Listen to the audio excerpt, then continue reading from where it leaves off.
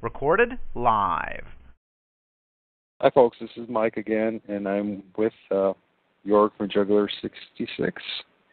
And um, uh, thank you for those who have joined us and those who will listen to the future.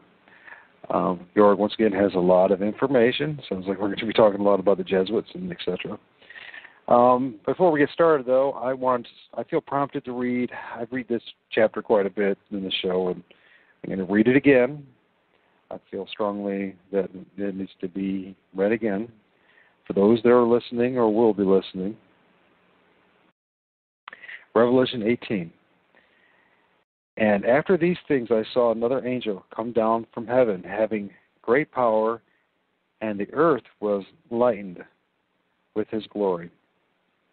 And he cried mightily with a strong voice, saying, Babylon the great is fallen, is fallen, and has become the habitation of devils, and the hold of every foul spirit, and a cage of every unclean and hateful bird. For all nations have drunk of the wine of the wrath of her fornication, and the kings of the earth have committed fornication with her. And the merchants of the earth have waxed rich through the abundance of her delicacies. And I heard another voice from heaven saying, Come out of her, my people, that ye be not partakers of her sins, and that ye receive not her plagues. For her sins have reached unto heaven, and God hath remembered her iniquities. Reward her even as she rewarded you, and double unto her, double according to her works. And the cup which she has filled, filled to her double. How much she hath glorified herself, and lived uh, deliciously, so much torment and sorrow give her. For she saith in her heart, I sit a queen, and am no widow, and shall see no sorrow.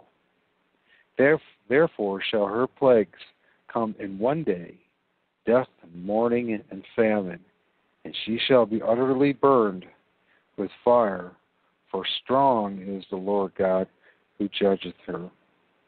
And the kings of the earth who have committed fornication and live deliciously with her shall bewail her and lament for her. And when they shall see the smoke of her burning, standing afar off for the fear of her torment, saying, Alas, alas, that great city Babylon, that mighty city, for in one hour is thy judgment come. And the merchants of the earth shall weep and mourn over her, for no man buyeth their merchandise any more. The merchandise of gold and silver and precious stones, and of pearls and fine linen and purple and silk and scarlet and all fine wood, and all manner of vessels of ivory and all manner of vessels of most precious wood and of brass and of iron and marble, and cinnamon and odors and ointments and frankincense and wine and oil and fine flour and wheat and beasts and sheep and horses and chariots and slaves and souls of men. And the fruits that thy soul lusted after are departed from thee, and all things which were dainty and goodly are departed from thee, and thou shalt find them no more at all. The merchants of these things which were made rich by her shall stand far off for the fear of her torment, weeping and wailing, and saying, Alas, alas, that great city that was clothed in fine linen and purple and scarlet and decked with gold and precious stones and pearls.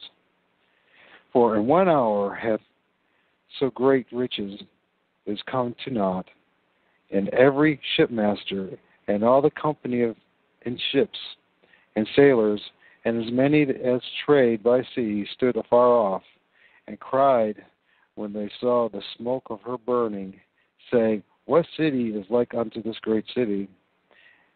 And they cast dust on their heads and cried and weeping and wailing and saying, Alas, alas, that great city, wherein were made rich all that had ships in the sea, by reason of her costliness.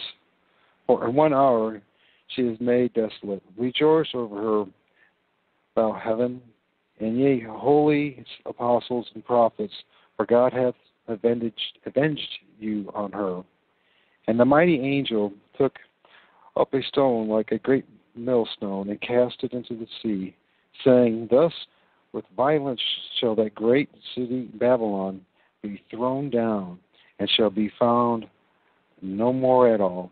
And the voices of the harp, harpers and the musicians and the pipers and the trumpeters shall be heard no more at all in thee, and no craftsman of whatsoever craft he be shall be found any more in thee, and the sound of the millstone shall be heard no more at all in thee, and the light of the of a candle shall shine no more at all in thee. A voice of the bridegroom and of the bride shall be heard no more at all in thee.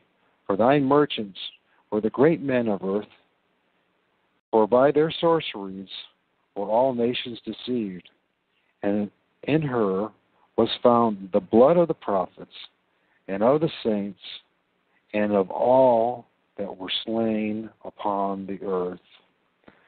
And um, I felt very strongly about reading this. Um, for those who are listening now, and those in the future, and those who feel that they are the, are are the opposition, if you will, was we call Jesuits, because I'm pretty sure at this point they're listening to the show. Um, I have pretty overwhelming, some pretty strong evidence of that case, and I just want to let you know that we love you, we care about you. We want you to know that Jesus Christ loves you, and as He says in this His holy word, He cries out to you um, to come out of her, come out of the system that you're in and be not partakers of her sins, and that ye receive not her plagues. Your perception might be that we're we are your enemy, but we're not. We actually care about you. The reason why we care about you because the Spirit of Christ is in us, therefore we care. We want you to know the truth and have you come on. It's not an easy road in this earth, in this world, to follow the truth but the rewards are worth it. And just once again, you know, we have we are. I am very grateful for all those, and I emphasize all those that are listening. And may God bless you, and may you come to the truth. And with that, my friend Jörg, let's hear what you have to say. well, first and for all, thank you very much for that reading of Revelation 13.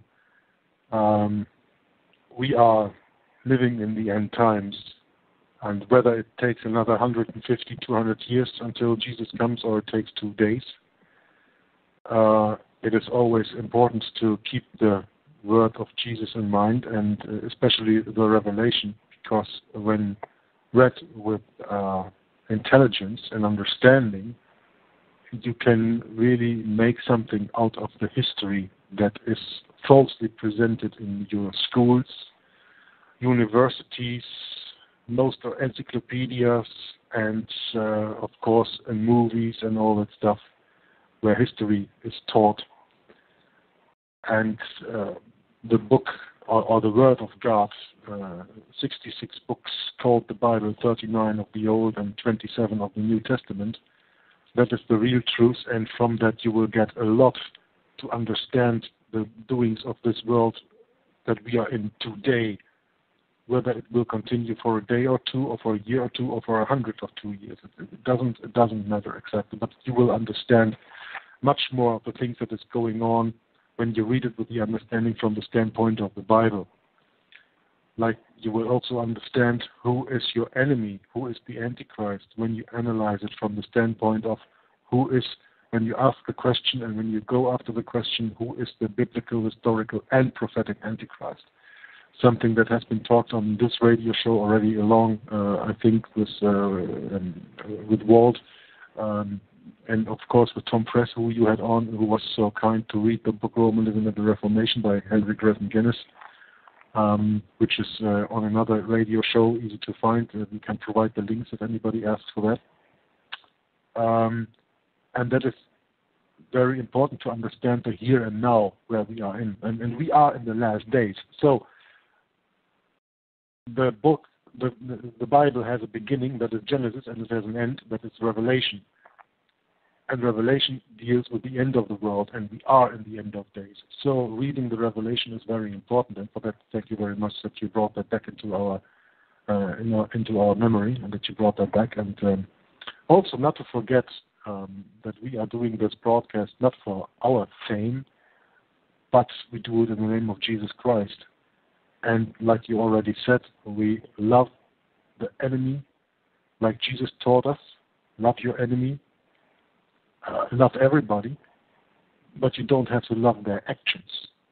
I despise the actions of the Roman Catholic Church. I despise the actions of my government, even. I despise the actions of the Jesuits.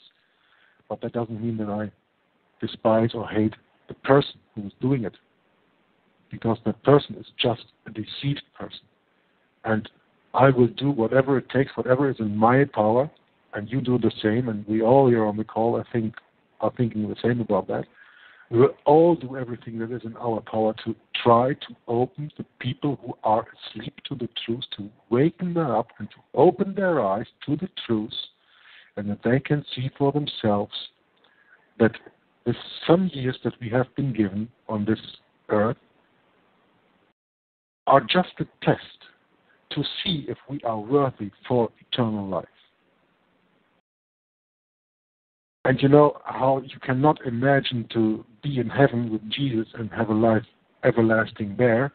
The same you cannot imagine what it would be like to be in hell everlasting and being uh, tormented with brimstone and heat and I don't know whatever in, in hell there is coming for, for the rest of eternity. So because you cannot imagine that, it is very important that you have to make the right choice and whether you go the fiery place or you go to the heavenly place. If you ask me, I would rather go to the heavenly place. And I think deep in their heart, everybody would do so, but it's a question of what they have been taught when, from when they were young. Because, you know, why are the people bad? Or why, why are there so many bad people today in the world? that has to do with the education, that has to do with what you are, what environment are you born into. When, when, when you're a child and you're innocently born, that's why Jesus loved the children and, and said uh, every child has more right to come to the to, to heaven than any uh, any grown up anyway. Um, because they are well uh, relatively free of sin, I would, I would like to say, children. Um, whatever environment they are born in, um, that is what they take on. When you are born into a criminal family, you probably will become a criminal. And that's not because you make the choice, but that's because you don't know any better. So, for most people who are in this uh, realm of politics, in this realm of the Roman Catholic Church or whatever, they were born into that and they don't know any better. And when the Roman Catholic Church says the Bible is not important, here's our catechism, that is important, people believe that. And they don't compare the two things. And that's how they get deceived, and that's how they do not understand that there's the truth. So because of that, Michael, I think that it's very important that you start with the reading of Revelation, whether it's 1 or 22 or 18, what you just read, I don't care. Revelation is a very, very uh, important uh, part of the Bible because um, those are actually the words of Jesus and the things that he gave to the apostles for the time that went after he went to heaven. For the things are to come. That is revelation mean to reveal what's going to come. Yeah. So by that, thanks again for reading that part 18, and now I'm going to continue with uh, something I have prepared. If I find that because you know I prepared, I prepared so much. I have a few. I, I think about ten websites uh, opened here and uh, all that stuff that I wanted to read. And um, it's actually an, an article that I found out some weeks ago that is from a website called The Unhived Mind. Uh, you probably are familiar with that site. Absolutely, That's, I've looked at it quite a bit. So. And there is a lot, a lot, a lot of information on. And he also, um, I'm not quite sure. Is it Craig Oxley? The guy who made Unhived Mind? I'm not quite sure. Uh, I, I, don't remember his name. I'm sorry. I don't. I don't. I, I, I think it was Craig Oxley. Alan Lamont told me a time ago. If I'm not mistaken. Anyway, the guy who made this site, Unhived Mind, also in the beginning made a lot of videos. Um, and there we, should, we should try to see if we get it to get him on the show. Um, no, I, I, I think I think he is uh, quite um, under the surface because he has been attacked a lot, and uh, I don't know if he is easy to find and easy to contact. Um, I know that uh, the videos that he made on YouTube are hard to find for the moment. Uh, uh, they are not so much around anymore. Um, he has been very hard attacked because of all this work that he did. But anyway, uh, I found an article here um, that I'm going to read to you. And from that article, I will divert into other things, but it all has to do, most of all, with first of all the new world order that we are going to to live in, which is when you study it exactly nothing else than the old world order means the restoration of the full temporal and spiritual power of the papal system of the Roman Catholic Church over the whole world. That has been taken away from them during the Reformation, for a part, that has been taken away from them during the wounds that has been afflicted to one of the heads that looked like a deadly wound that was the arrests from General Berthier of the Pope in 1798 that ended the 1260 year reign of the Roman Catholic Church, uh, as foretold in uh, as foretold in the Bible prophecy. And um, then this deadly wound was again um, repeated in 1870 when uh, Italy, as the last country of the world, also revoked the temporal power of the Vatican. But also Italy has been very much uh, in the run for starting the healing of the wound in 1929, February 11th, to be exactly, uh, when Mussolini signed the uh, Lateran Treaty or the Lateran Treaty with the Vatican, and uh, the Vatican was at that moment again a sovereign country, even though it is just a little dot on the earth, but don't matter. It's a sovereign country. And by that it was started giving back the temporal power. And from that moment on, you will see that increasingly other countries started having diplomatic relations with the Vatican. And the Vatican has today, if I'm not mistaken, I think uh, 200 uh, foreign um, yeah, embassies. It's not called embassies, but offices in, in foreign countries for their representation, like we have from country to country embassies. So that means the world power is almost uh, completely restored. The wound is almost healed. It's still healing, it's, not healed yet, but uh, it will heal. So you can follow that when you read Revelation, and you know where we are. Anyway, I don't want to divert too much from this article that I've prepared from the Unhived Mind. That uh, article is called Jesuit Domina- Domination Veiled by Diversion Agents of Deception. Uh, very interesting. It starts by uh, calling out a certain Jim Condit Jr. I don't know if you are familiar with Jim Condit Jr., who he is. Not offhand. No. Doesn't mean I don't know who he is. I just can't picture the, the name, okay. the name with the face. That's okay. I um, I researched uh, a little bit about him, and uh, I think he was uh, also candidate for the Senate um, the interesting thing that I found, and I think that is relying a little bit to the article, that's why I'm uh, reading that, is in 2002, John Condit Jr. became the first political candidate in the United States of America to reach the public over 50,000 watt radio stations with the message that the 9 11 cover story was false and that the evidence pointed to unsettling conclusions, such as that controlled demolition had been used to bring down the World Trade, Tower, World Trade uh, Towers in New York City, as the airplane crashes and resulting jet fuel fires were complete, completely insufficient to do so. Yeah. Can I stop you for a second? You can stop me anywhere, anytime. Okay. Did, did you know, did you talk about him last week? Uh, just a little bit. Yeah, well, that's where I heard him. okay. so yeah, I know now. I all recognize it for the story. So, go ahead. My apologies. Yeah, uh, about the fuel fires, uh, just something that I insert here right now for people who are not that uh, uh not that well studied into the 9/11 uh, false attacks.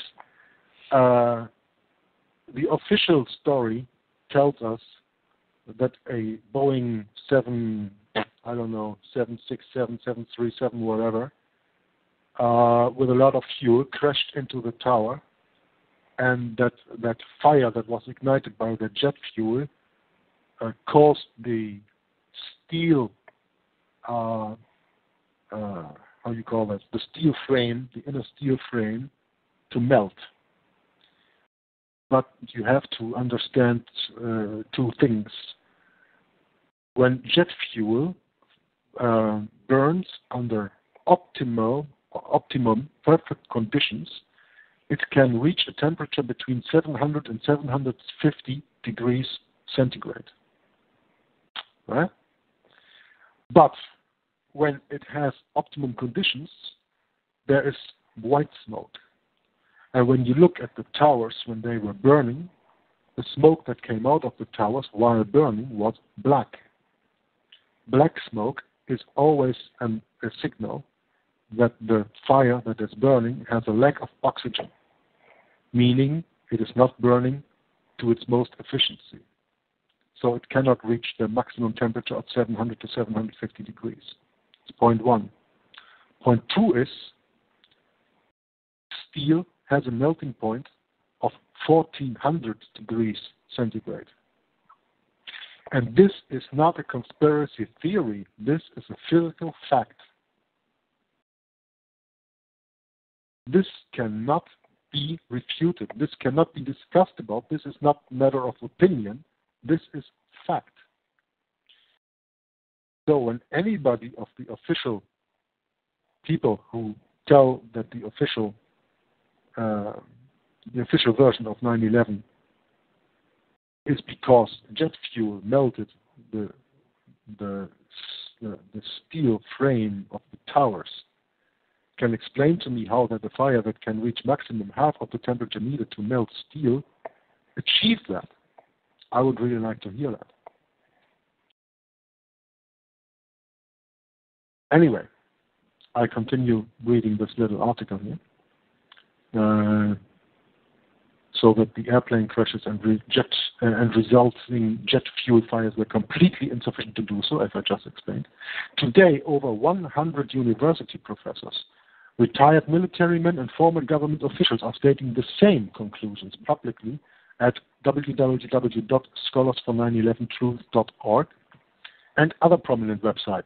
Uh, for example, uh, you have this uh, architects uh, for for for 9/11 Truth site and, and pilots and, and, and all this stuff.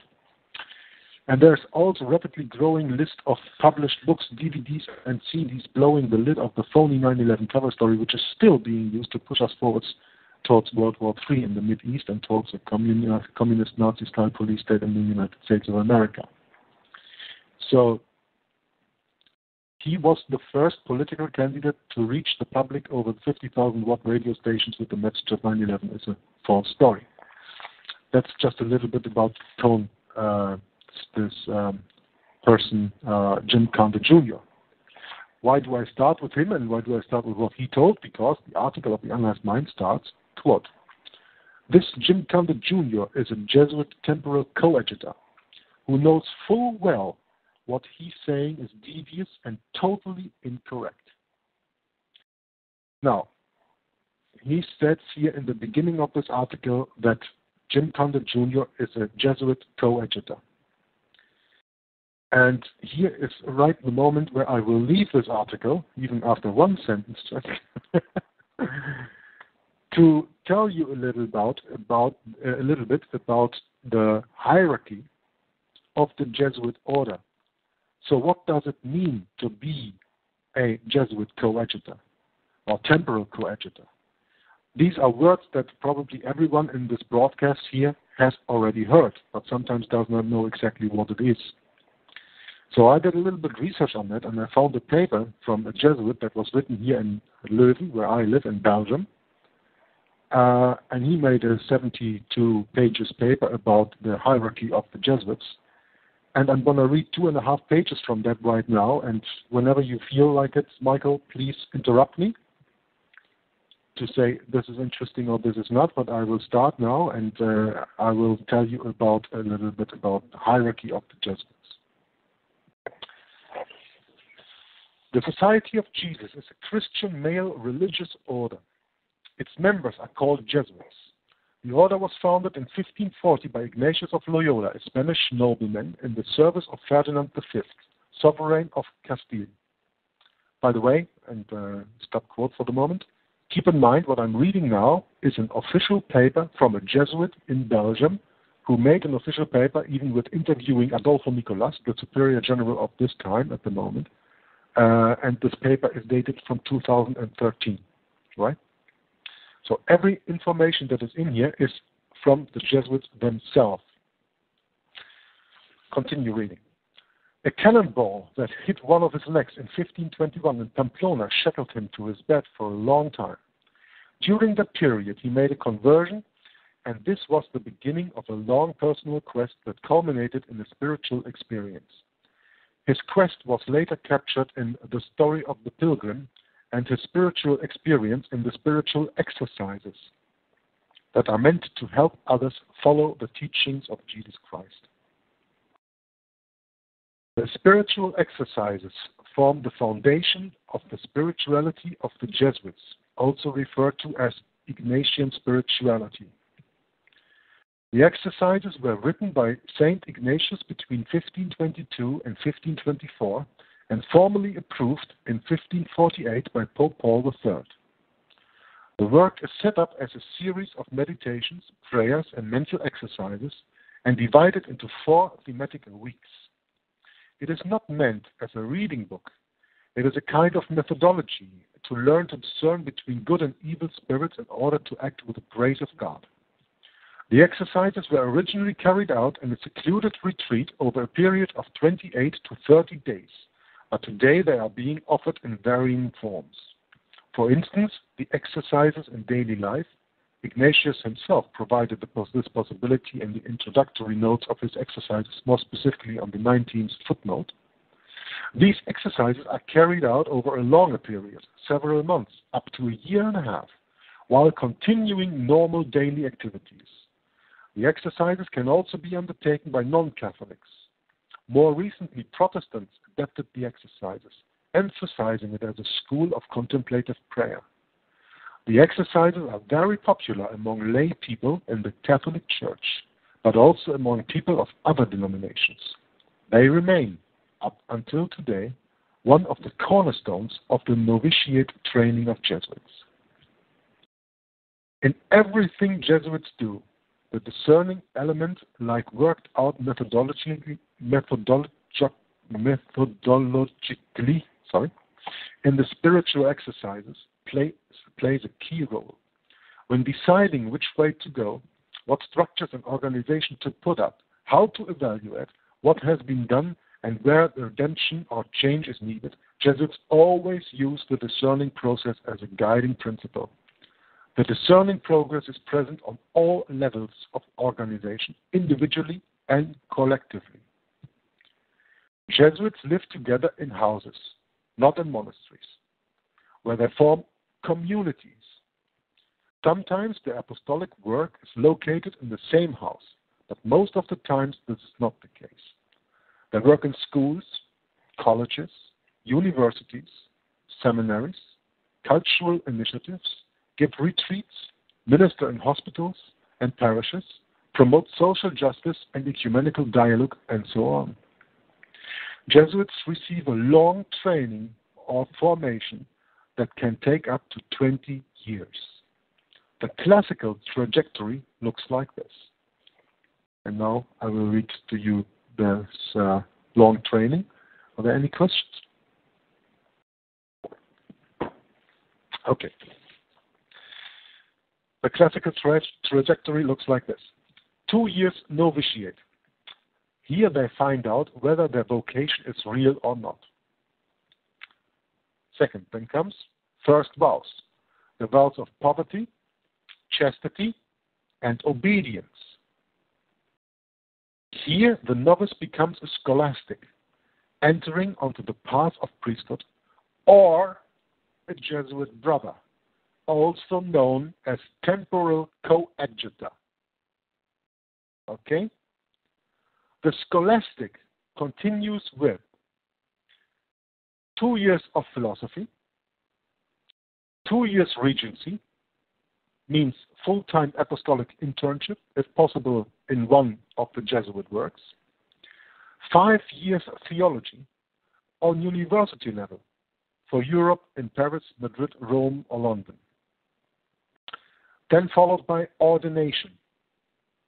And after ordination, there are two options that are decided upon by Rome. First, the Jesuit priest is chosen for profession as a spiritual coadjutor. He takes vows of poverty, chastity, and obedience. Second, the Jesuit priest is chosen for profession as a professed on the uh, on the four vows. The fourth vow is the vow of obedience to the Pope. Next.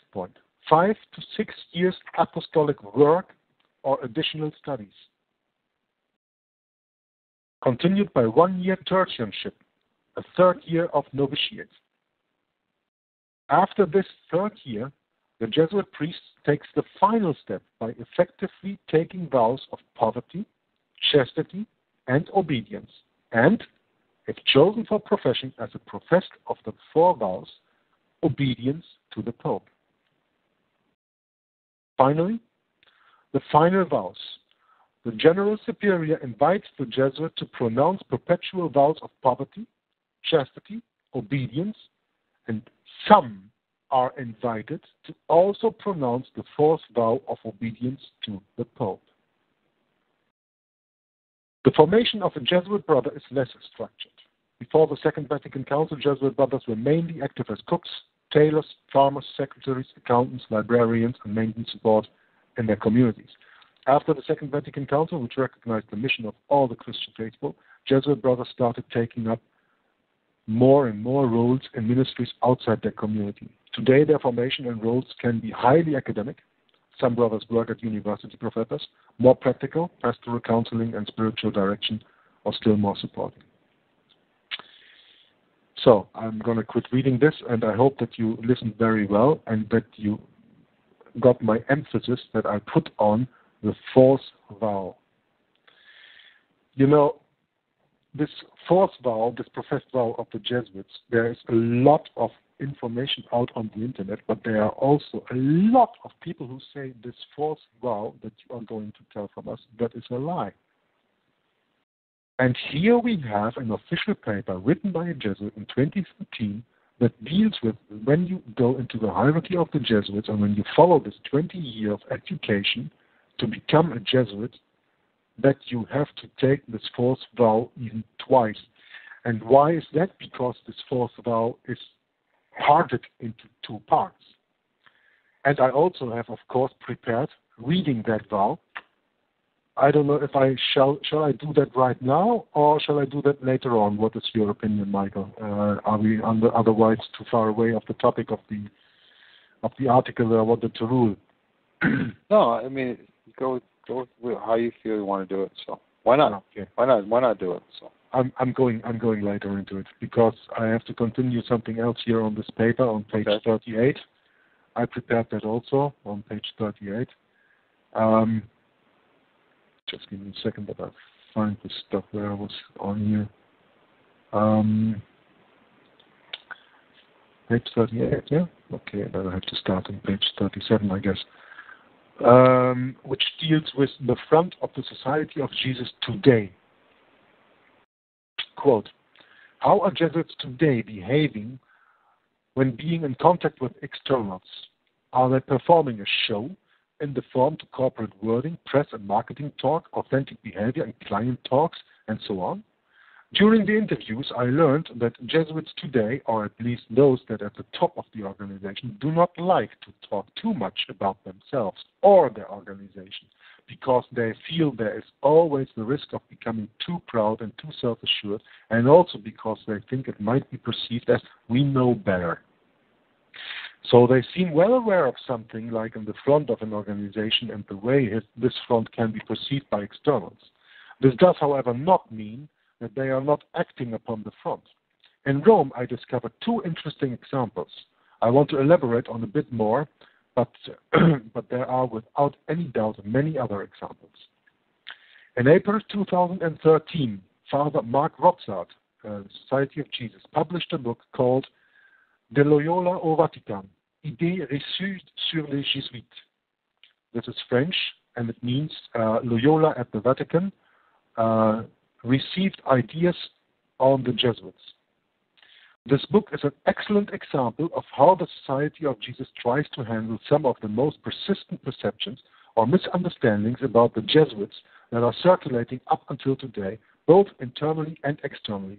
It is, in my opinion, a very clever, balanced way of dealing with the front of the organization because it tries to bring up the right information to a broader audience, meaning that it is not an attempt to glorify the Jesuits or its founder. On the contrary, it takes a certain critical distance. It is, for example, not avoiding some of the more darker moments in the history of the society. Good examples of all are this, and now I'm going to continue with four examples, and that uh, finishes this, um, uh, this little part of the book. The Society of Jesus has been founded by Ignatius of Loyola. Okay, this statement is not wrong. It's not totally wrong, says Rotsaert, but it is important to add, and his first companions.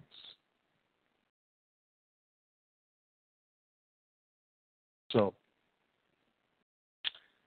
I don't know why that is so important. Of course, he didn't do it alone, but he was the key man. I think without him, there wouldn't have been the Society of Jesus as it is today. Well, I know that in the foundation of the Jesuits, Loyola had uh, a half a dozen followers. Mm-hmm. He, met, he met through school, so absolutely, all... yeah, he was not alone. That is that is absolutely absolutely right. But it's just he he takes off the focus of Ignatius of Loyola like this, you know. You have to see this this how they are perceived internally and externally. And it's most of all for externally because externally you say, oh, Jesuits, oh, that's Ignatius of Loyola.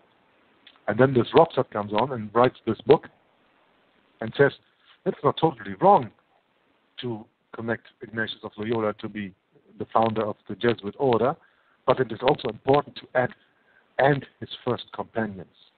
See? To take right. the heat off him. You see what I mean? Absolutely, yeah. That's the idea.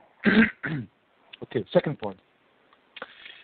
Quote, the Society of Jesus is a military organization with little or no democracy. End quote. It is neither a military organization nor a democracy, says Rotsaert. It differs from some other religions, uh, religious orders where government is structured horizontally, whereas the government of the Society of Jesus is structured vertically. That's why in all these organigrams of things like the Jesuits, you have a pyramid. All right. The third point, quote, Father General is called the Black Pope. End quote. The fact that the general and his Jesuits have been wearing black robe in line with the habits of their time, the fact that the headquarters of the Society of Jesus are close to the Vatican, the conviction that the society was founded by an ex-military, the fact that the Jesuits have this fourth vow of obedience to the Pope, who could count on his elite troops to conquer heretics or unbelievers. This all contributed to creating the image of the Black Pope, says Rotsaert. But the only thing Ignatius and his Jesuits really wanted was to link their mission to the universal mission of the Church. It was an act of faith rather than an act of ecclesiastic politics.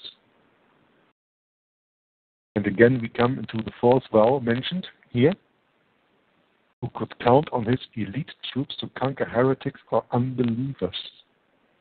So here he gives us a little glimpse in this official paper on the fourth vow that is so much being refuted by people who try to dismiss the Jesuits as just an unimportant organization. And the fourth point, quote, the Jesuits were in the church amongst the most tolerant with regard to the Jews.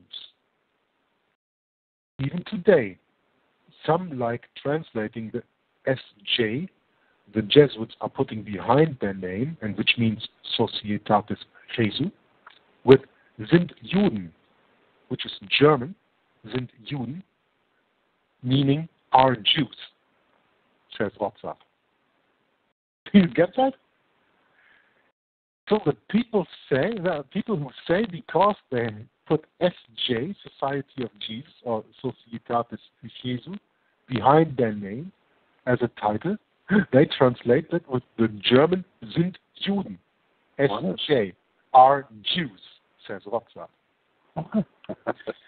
At the time of Ignatius, the purity of blood, especially in Spain, played an important role. From the moment the Jews and Moors started entering the church, Inquisition started focusing on the so called new Christians Ignatius stayed, them, stayed firm throughout his whole life. In his answer to Pedro Zarate, October 29, 1555, responding to a question of Don Gomez de la Silva, Count of Eboli, he writes, quote, I am told that your lordship is unhappy that we accept so many new Christians in our society. Society cannot and should not exclude anyone. She shouldn't refuse any talent or any man of quality, whether he is an old Christian or a noble knight or something else, if, he is religious behav- if his religious behavior is useful and consistent with the universal good. So the point of view of Ignatius was crystal clear. However, when Father Paolo Sacchini wrote in his History of the Jesuits about the Jewish background of one of the first companions, and that was Father Jacques Lainez, the Jesuits of Toledo, in their provincial congregation of 1622, reacted vehemently and asked Father General Vitticelli to remove what was said about Lainez. We ask the withdrawal of such a large stain on the memory of such a father, they said.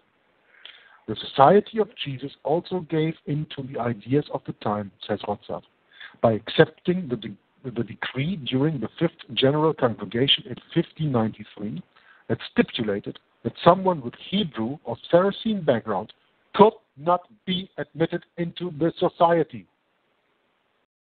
It took the society until 1946, after the Second World War and the slaughtering of millions of Jews in the so called Holocaust, to abolish the decree of 1593 during the 29th General Congregation. So, what have we just learned from a Jesuit himself? That the second Superior General of the Society of Jesus, Lainez, Jacques Lainez, was a Jew and that in 1593 there was made a decree that was working up to 1946 that there were no Jews allowed in the Society of Jesus. And why is this important? Because when we later go into the fourth vow, the vow of obedience of the Jesuits, we will see what is written there about Jews. Hmm. So I'm going to end this paper that I have from that guy. Uh, I'm going to end that right here. But first and for all, uh, first and for all, I thought this hierarchy that I was reading in the beginning from this paper, I think that was very interesting. And now you know what a temporal coadjutor actually means and how much Jesuit education he got. Right? Okay.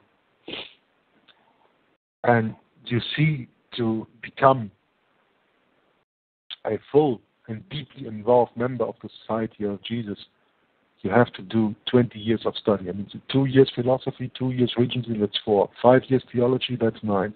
Then the ordination, then five to six years apostolic work, that's 15 to 16 years. One year tertianship, that's 17 years, and the final years, and so. And the first two years that started as a novitiate, so you come to 20 years. This is not something that you do, you do overnight. That means you commit your life to this. Exactly. So, now we know what a temporal coadjutor is, and I told you who Jim Condit is. I'm going to continue reading that article, starting with the first sentence again, because, quote, this Jim Condit Jr. is a Jesuit temporal coadjutor who knows full well what he's saying is devious and totally incorrect. He will not tell you about the full roots of Freemasonry and the Jesuits' Kingdom of Aragon Templars take over of the entire Freemasonry division of the mystery schools, which are currently run by the greatest educated minds, the Jesuit order. He will not do this because he does, it does not suit his current agenda to protect the order and its minion Catholicism, which is not Christianity. Many agents like this will also, if pushed, claim the Jesuits are Jews in order to save face if they like to push that Jews rule the world, never explaining the difference between Torah Judaics and Sabbatean Frankist Talmudic labor Zionists. I guess he pushes that Evelyn de Rothschild is the king of the world? What a joke. The Rothschild family are a tool of the Jesuit order to bring to help bring about their world order complete Aragon Templar takeover. I'm going to stop reading this right here because the Rothschild family is mentioned. And a lot of people are here and there saying something about the Rothschilds and think they know it all.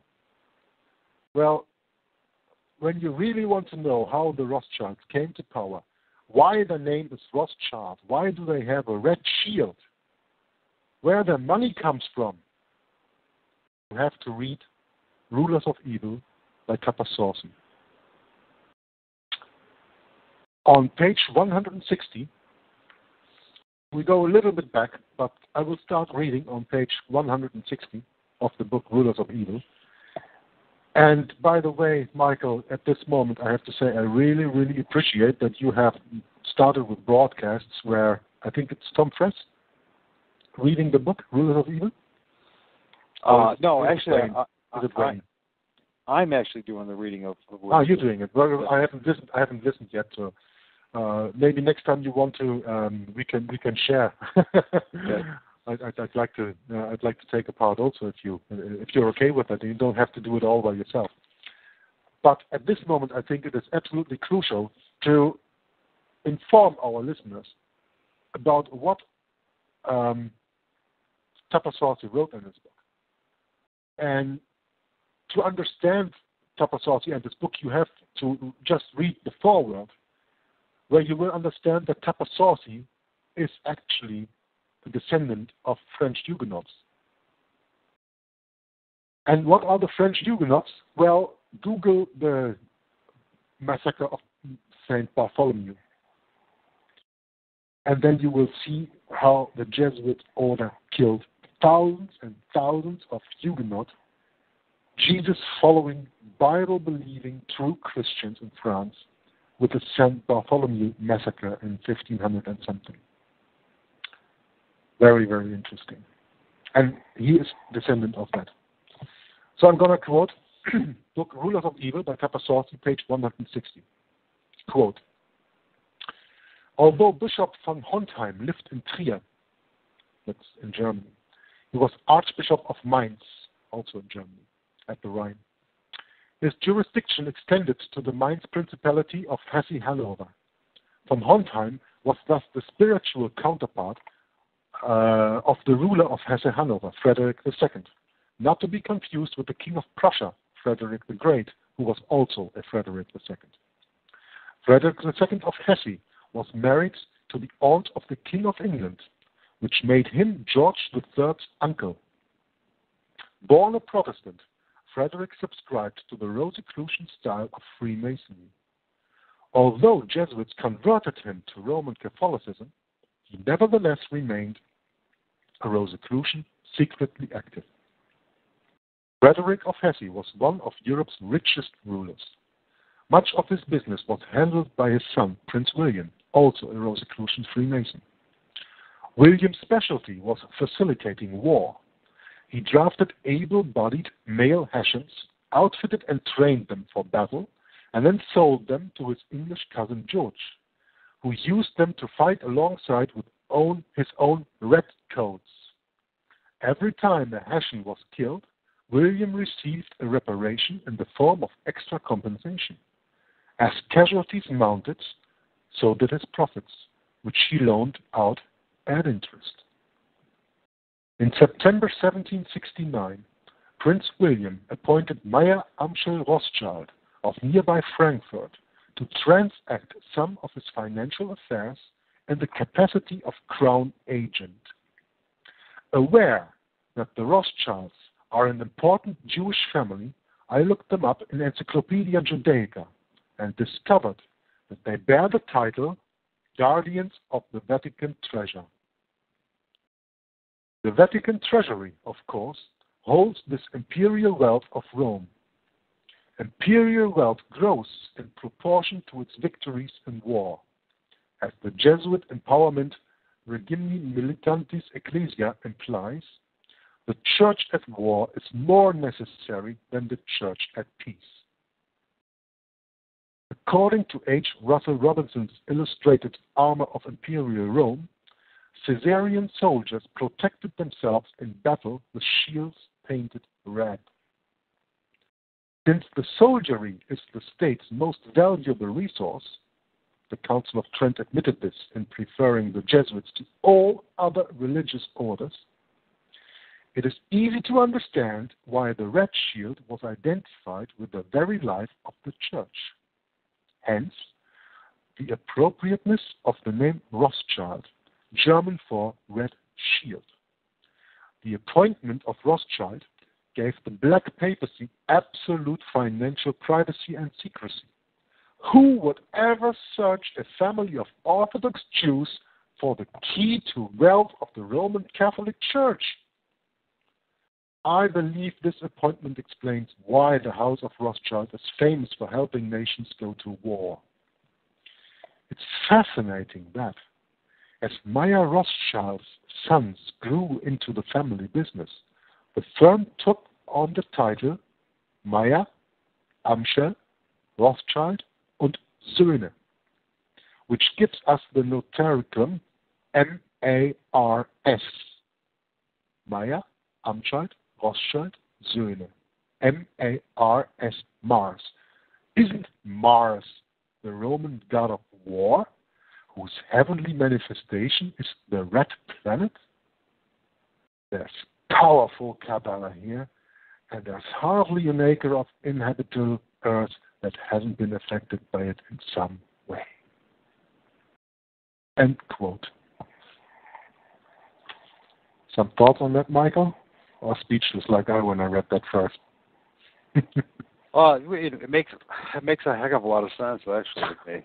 So I mean, uh, I got what's going through my mind is all the people that I dealt with say a year ago, ten months ago, eight months ago, that when I started bringing up the Rothschilds' connection to the, uh, Rome and how they responded to me. You know, you were mentioning earlier about a, a lot of folks they're whether they're Jesuit coadjutors or they're something else, I don't know.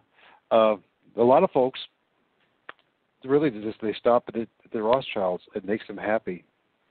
It's like the you know it's ingrained in a lot of us to hate Jews, And so this makes a lot of sense to put them fall. You know, they've always been the scapegoat for Rome. On top of that, though, being Jewish, yet having the red shield, which is the Roman symbol, so are they really Jewish? You know what I mean? That's a question that, that needs to be asked because what does it mean to be Jewish this day, these day and well, age? Well, it's, it's, it's, very interesting that you asked this question because a few days ago um, we two had already that conversation right. where I told you that there are two kinds of Jews that have to be reckoned with. Mm-hmm. Um, the first kind of Jews that is here in this world right now is that kind of Jews that are Jews by descendants of the tribe of Judah, one of the twelve tribes of Israel who are by blood, by blood, not not a race, but but Jewish because they come from the Judean tribe, right? Uh-huh. And then there are these Jews who can also be uh, uh, uh, normal people, other people who converted to the Jewish faith. So when, when you talk about Jews, you really have to do about two kind of Jews. You have to do whether with the bloodline, or you have to do with people who are just following the religion of the Jews. Right. Because when I convert to Judaism, my blood doesn't change. I'm, I'm, I'm still the same blood. I'm still born a Gentile. I can convert to the to the to the Jewish faith, but that doesn't make me a Jew, right? Uh, I guess so. Yeah. So what about the Rothschilds? Well, the the, the real name of uh, Meyer Amschel Rothschild was Meyer Amschel Bauer, means farmer. So his normally last name was Farmer, Bauer. I don't know if he was a Jew from the tribe of Judah. I don't know if he was a converted Jew, but the Rothschilds are today conceived as Jews, and I don't care if they are blood Jews or converted Jews. The only thing that is important is that these Jews are being used by the Jesuits to take the blame for their actions. All right. And I want to. Or is it even more sinister, Jorg, that the Roman Catholics pretending or portraying to be Jews? Yes. Which is what I argue.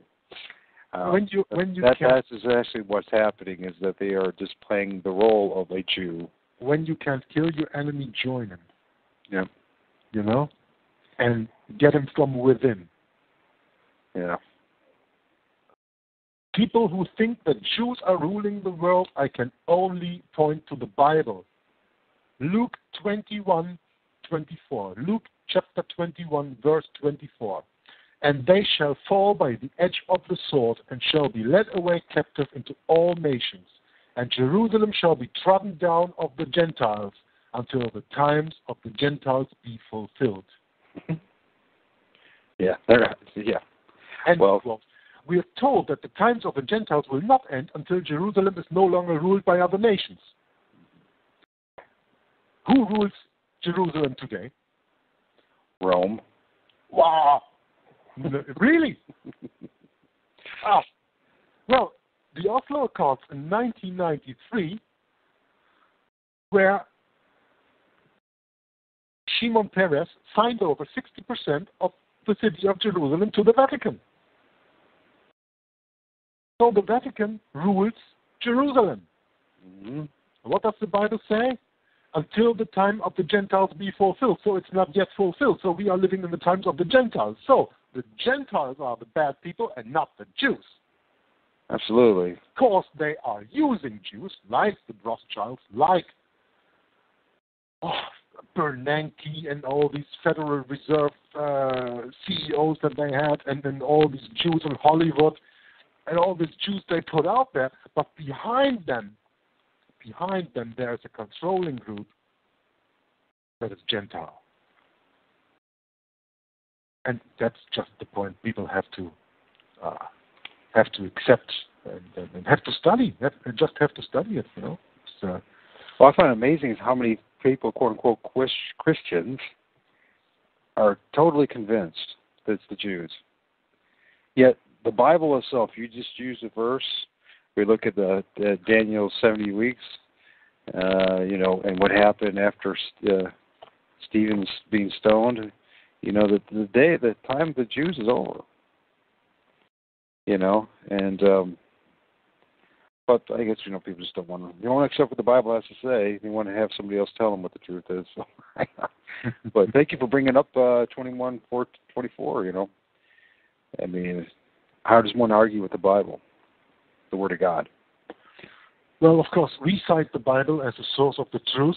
The problem is uh, when you look at the Catholic Encyclopedia, volume 12, page 496, the Roman Catholic Church says about the Bible, quote, the supremacy of the Bible as source of faith is unhistorical, illogical, fatal to the virtue of faith, and destructive of unity. It is unhistorical. End quote. It's so it's so evil, isn't it? It's satanic to its core. Oh, my gosh. People come out of her, please come out of her. yeah, we can just repeat uh, Revelation 18, verse 4, of course. We can do that all night. Absolutely. Okay, and continue reading the, the article, or are there any other questions about the Jews, uh, or, or this, this Jew point that I was just making? I mean, it's, it's quite obvious. Yeah, I mean, well, I, I, first of all, I appreciate you bringing it up, and it needs to be brought up more often. There's an awful lot of people out there, whether it's like guys like Fritz Springmeiers, or the, the smaller names, people who are, are not addressing this. And when you do bring up Rome, the connection uh, with what's going on in the world, they just they just they attack you. Now I've been told that he's done a, a video recently addressing Rome, but it's nothing compared to the it's you know a drop in the bucket of his work. And I personally have had that ex- been attacked by a guy like Chris Springmeiers and others for bringing up Rome and their connection with the with the Rothschilds and the fact that the Rothschilds are actually subservient to Rome and not the other way around. And mm-hmm. people really believe that one little family, one Jewish family, controls the world. They are totally deceived and they're clueless of how the world works. Just well, it never did never did work that way. whose whose ring do all the presidents and kings in this world kiss? The the, the ring of the Rothschilds or the ring of the Pope? that would be great. There were pictures of people kissing the ring of the Rothschilds. That'd be great. But you know what? Doesn't happen, does it? no, only in the imagination of some folks. Only in the imagination. Okay, I'm going to continue reading the article, and please interrupt me whenever you feel like it, okay? Okay. The Jesuits were already in control of the Rothschild. The Jesuits were already in control of the Rothschild family through their House of Pavoloncini, Venetian banking power, using the Rothschilds to hide away their vast wealth from the Jesuit South American reductions. This wealth could not be lost to the Vatican, who had suppressed the order in 1773. What was the option? To use the Protestant banking house of the Rothschild. For this, the Jesuits would grant the family eventual guardianship over the Vatican treasury once their takeover was completed, along with the protection within their new Templar world order. Um, just a little pause in reading here. I have to say something about this because otherwise I get lost of it. This wealth could not be lost to the Vatican, who had suppressed the order in 1773, right? The Jesuit order was forbidden and only lived on in, uh, in two countries at that time. In the German state, Germany didn't exist in that time, of course, but in the, in the state of Prussia, which was uh, a Protestant state, and in Russia, the Russians, Catherine something, gave protection to the Jesuit order in the time of their suppression between 1773 and 1814.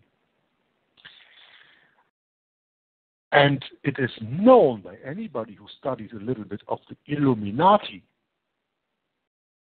that Adam Weishaupt, who was a professor teaching canon law at Jesuit Bavarian University of Ingolstadt, that he was the founder, so called, of the Bavarian Illuminati, which were founded, strangely enough, strangely enough, just in the time between the Jesuit suppression of 1773 and the founding of the United States in 1776, because the 1st of May 1776, 1st of May, the Illuminati were founded. That was the organization the Jesuits had been working on for worldwide to have another front come out in the time as long as they were officially suppressed by the Roman Catholic Church. Very, very interesting history.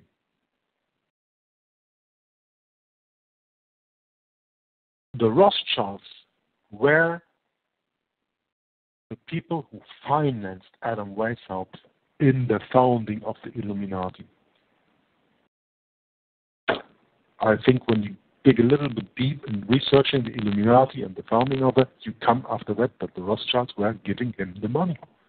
That's why they did it, because they were working for the Jesuits. Because they are the guardians of the Vatican treasure. And especially that part of the Vatican treasure that's not from the Vatican, but that's from the Jesuits, who are the revived Knights Templar. And their treasure, that is so called, never been found after their suppression in 1307. By the way, raise your hands if you know what happened. 13th of October, 1307. Where does this suspicious belief of Friday the 13th come from? the arrestation of the Knights Templars on Friday the 13th in 1307, when they were forbidden. That's where that comes from. And these Knights Templars, these revived Knights Templars, are the Jesuits. And when they were suppressed in 1773, they founded a new front organization for them that helped them to do their thing, even though they couldn't do it the way they did before, as they were allowed. And so they founded the Illuminati, the Bavarian Illuminati of 1776. And whenever you're in America and you hold up a one dollar bill, you will see on the back a pyramid, and on the on the bottom of the pyramid there is engraved the number 1776. And you can believe me, that has nothing to do with the independence of 1776, the United States of America, that was achieved. That has to do all with the founding of the Illuminati. Annuit Coeptis Novus Ordo Seclorum. Continue reading. It is as simple as that, folks, and nothing more. I can name numerous people of far higher stature who would not entertain going on news broadcasts like a pipsqueak such as Evelyn de Rothschild. David Rockefeller is commanded by Jesuit soldier Thomas Smolich. Evelyn de Rothschild is commanded by Jesuit soldier Dermot Preston.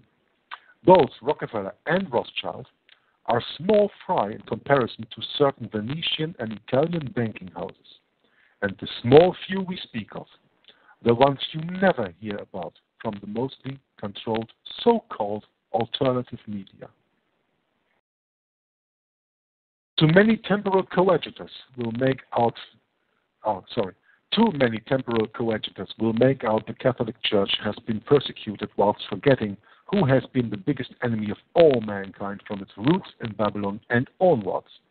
Yes, the Catholic Church, Roman Empire continuum. The Catholic Church has not been destroyed by Rothschild. the Catholic Church has been destroyed by the Jesuit order, which started in 1814 to 1870 onwards as revenge for 1773. Do you honestly believe the Jesuit order was suppressed for nothing?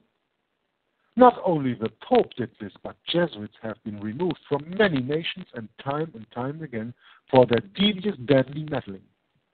You see this protection of Catholicism, not Christianity, by that David Livingstone as well.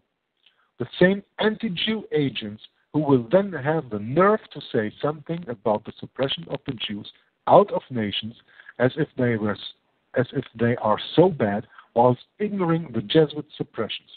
A classic case of doublethink and doublespeak, all to suit their agenda of diversion. Ask yourself how the Catholic Church gained so many followers, and it was through threat of torture or, and death. Is it any wonder weak people join such a vile organization? People like to conveniently forget these types of facts. The heart of the Vatican is not weakened, it is stronger than ever, except it is being transitioned as well into the new coming into the coming new world religion known as the Luciferian doctrine, no different to the rest of the Jesuits' cult, such as Mormonism, remembering they got the Union State of Utah from Jesuit soldier Jean Pierre de Smet, by the way, a Belgian, who handled Brigham Young and the leader of the Scottish Rite, Albert Pike, the author of Morals and Dogma, 33rd degree Mason, speaking 16 different languages, and author of the Letters to Mazzini in 1870, where he spoke about the coming three world wars. Just have to put this information in here. There's maybe the one or the other for that, isn't it? Not forgetting the Jesuits created the first 25 degrees of the Scottish Rite, whilst the other eight degrees were completed by Alexandre de Grasse, the son of the Order of Knight of Walter Francois de Grasse, making sure the 32nd degree honored his Jesuit masters. The intention was on dominating all Freemasonry of the middle and lower levels through the Scottish Rite headquartered in Jesuit Washington, D.C., and of course control of the United Grand Lodge of England. No longer would the Sinclair Templar Masonry of the Grand Lodge of France be separate from the only Knights Templar continuum, the Aragon Templars, who hid in the Order of the Calatrava and the Order of the Montesa, and as we all know, the Los Alumbrados, before becoming known as the Jesuit Order.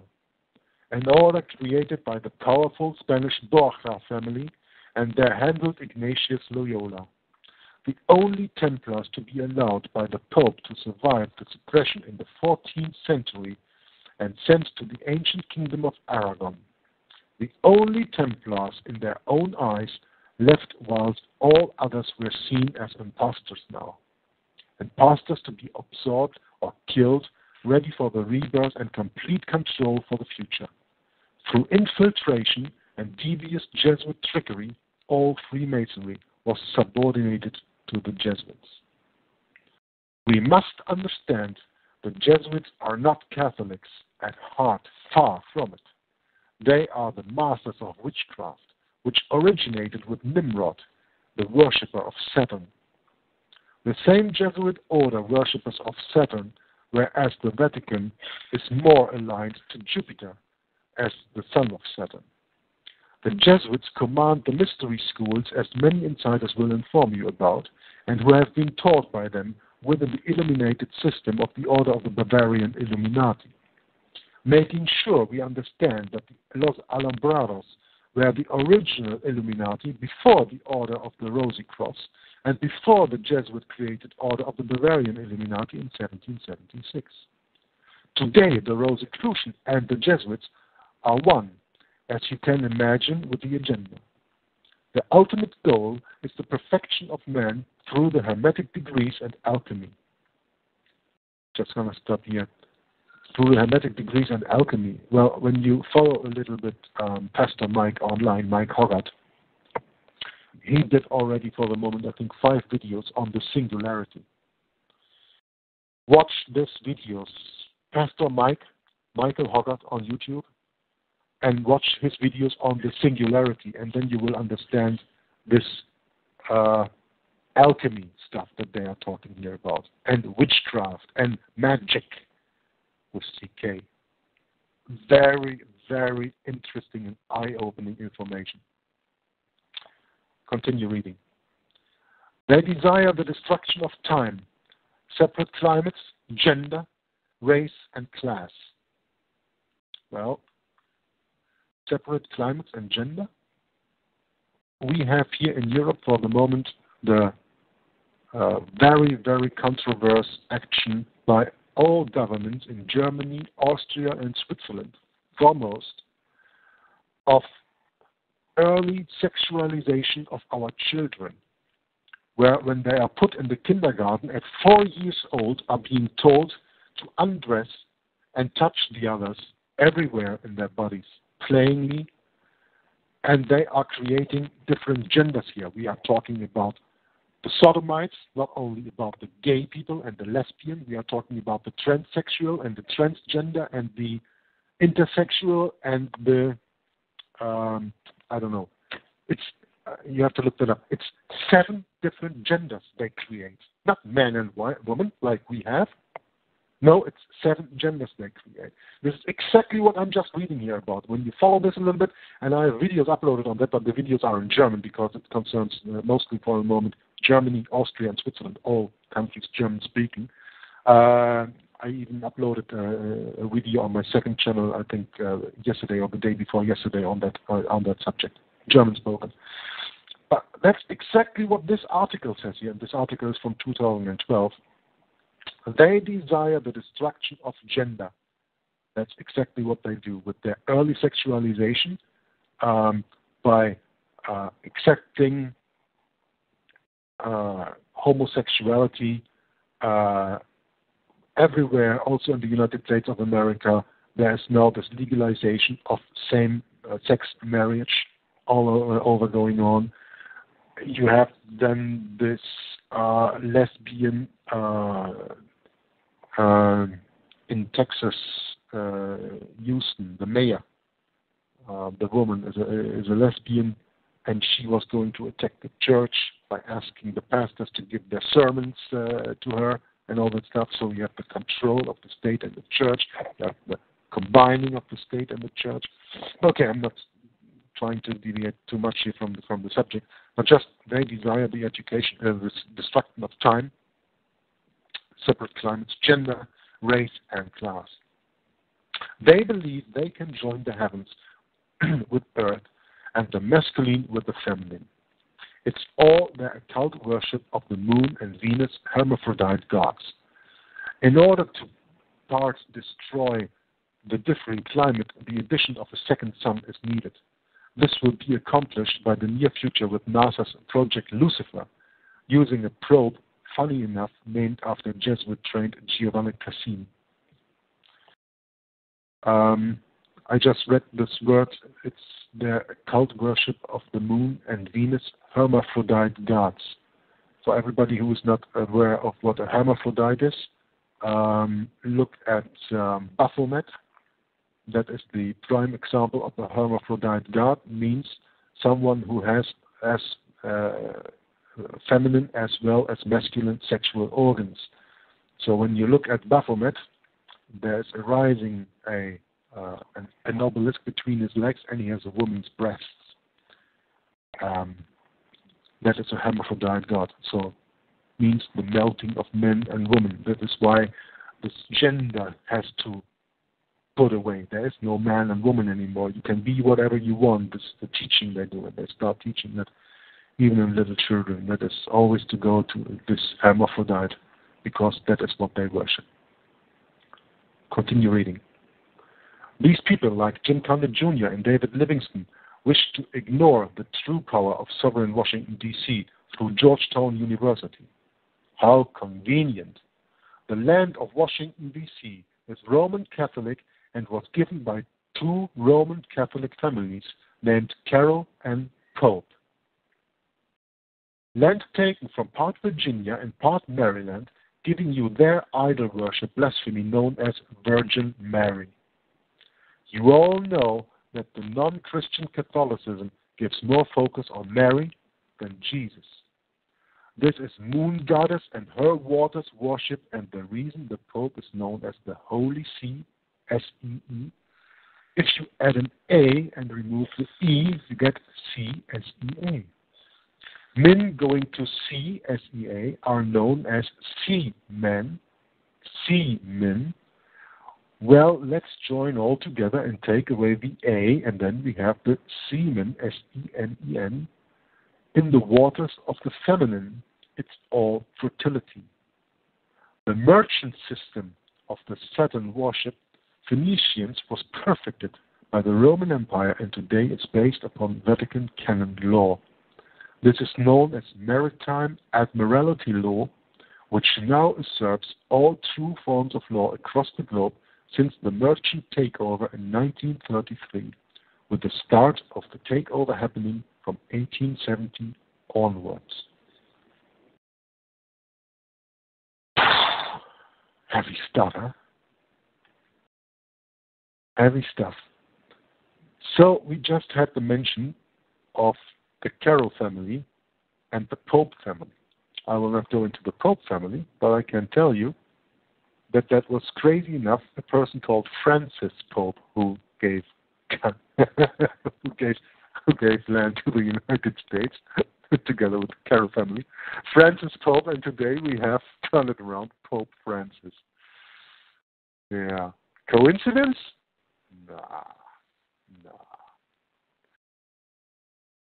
So if you do not know who the Carrolls are, and there are quite a few people in the United States of America who do not know who the Carrolls are, then you even have no idea of the real founding of your nation. It would be absolutely too much to go into the subject of the Carrolls. You had three. You had John, Daniel, and I always slip one.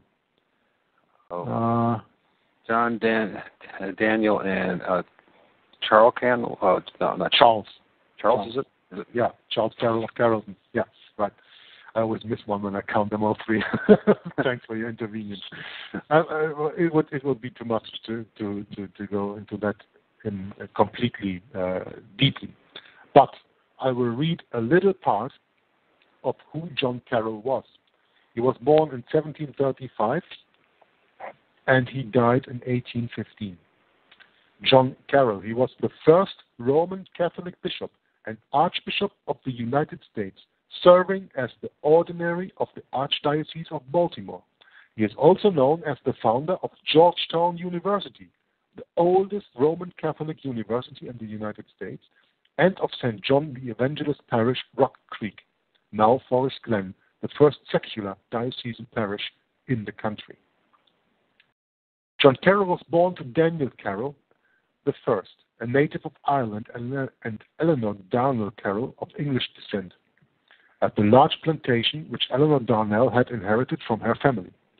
He spent his early years at the family home, sited, sited on thousands of acres near Upper Marlboro, the county seat of Prince George's County in Maryland. Several remnant surrounding acres are now associated with the house museum known as Darnall's Chance, to, uh, listed on the National Register of Historic Places and part of the system of the Maryland National Capital Park and Planning Commission for Southern Suburban Washington, D.C. Carroll joined the Society of Jesus, the Jesuits, as the postulant at the age of 18 in 1753. In 1755, he began his studies, his studies of philosophy and theology at Liège. This is in Belgium, where I live, 50 kilometers from my home. After 14 years, he was ordained to the diaconate and later the priesthood in 1769. Carroll remained in Europe until he was almost 40, teaching at St. Omer in Liège and acting as chaplain to a British aristocrat traveling on the continent.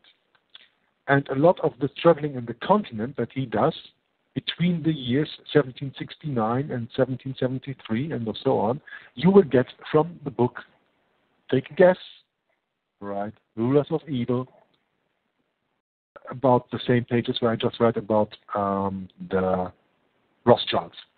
There's a lot on the European education and traveling on the three Carrolls in Europe at that time.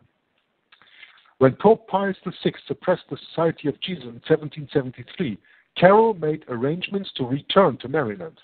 The brief suppression of the Jesuits was a painful experience for Carroll, who suspected the congregation for the propagation of the faith, propagation of the faith that is what the Inquisition is called nowadays, of being responsible for his ill informed decision. As a result of laws discriminating against Catholics, there was no public Catholic church in Maryland, so Carroll worked as a missionary in Maryland and Virginia. Carroll founded St. John the Evangelist Parish at Forest Glen in Silver Spring in 1774.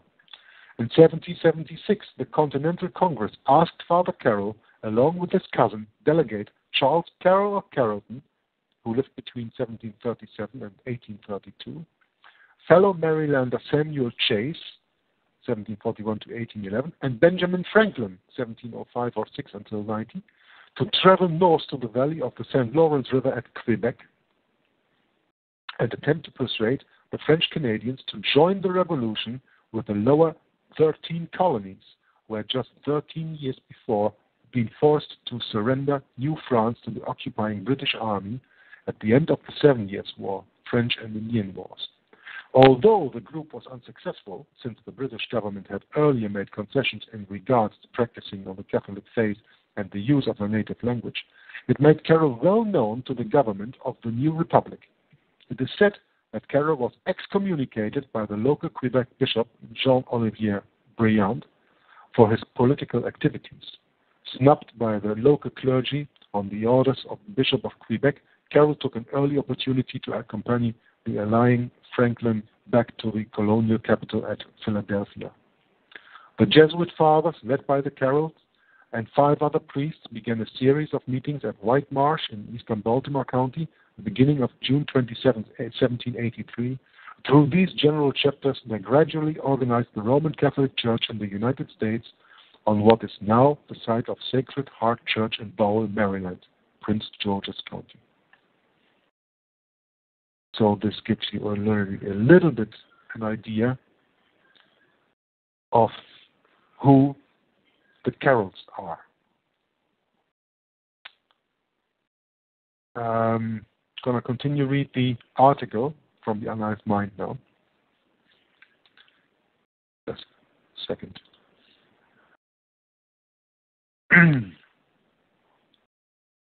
the whole merchant system is mastered by the Vatican. Your soul, property, and rights have been taken away by the Vatican before you were even born through numerous papal bulls which tie into the Cestui Que Vie, Sistiquivi Act, 1666, mastered at Temple Bar in New Jerusalem by Emperor King Juan Carlos of the new unholy Roman Empire. Let me read that again because it's French. I know that, but I didn't read it.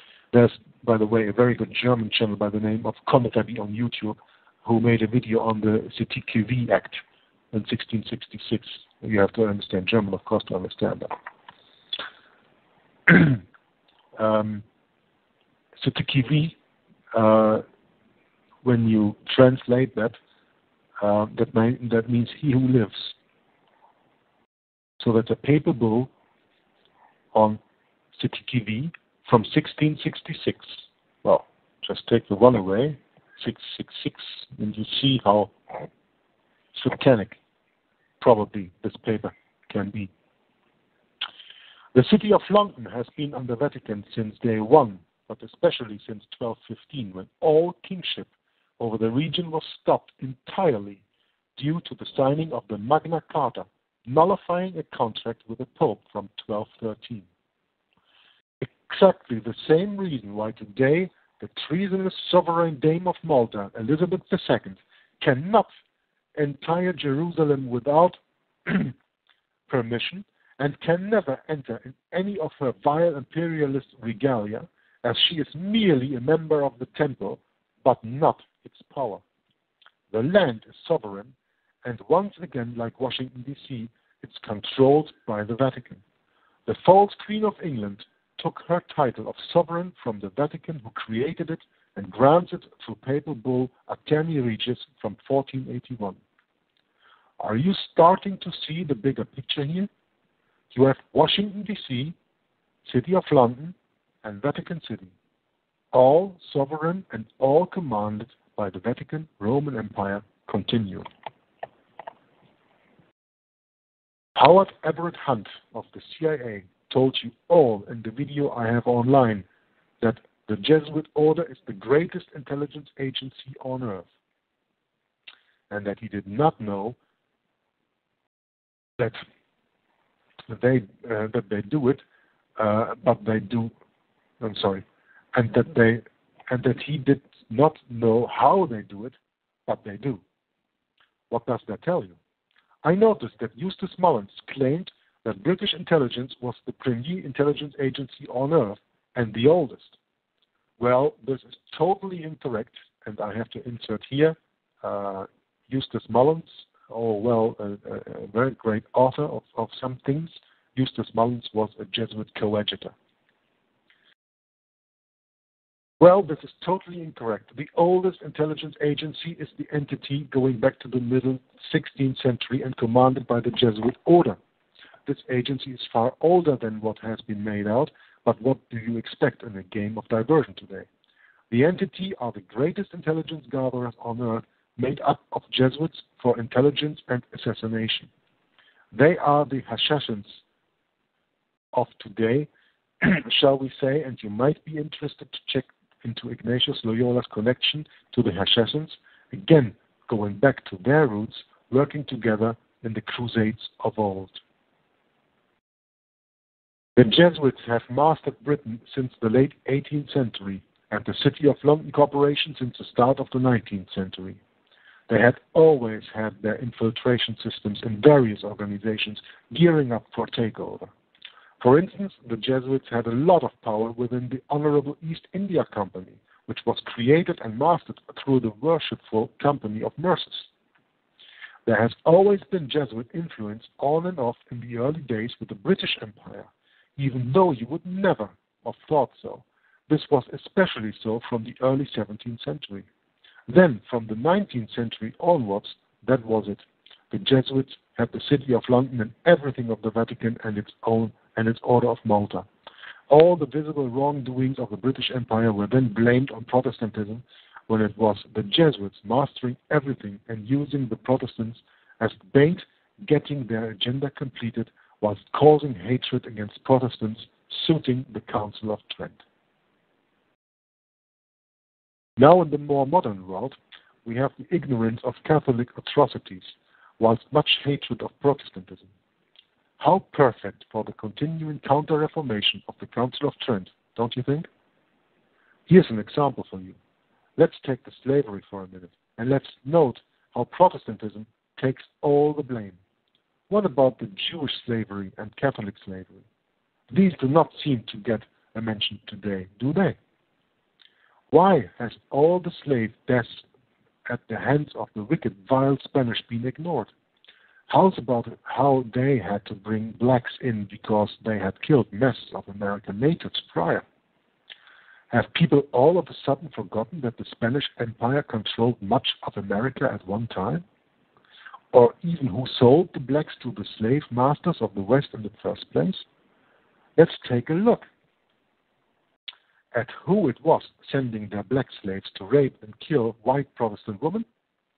It was the Catholic slave masters, who were also the most wicked of slave masters, treating their slaves like shit on their shoes.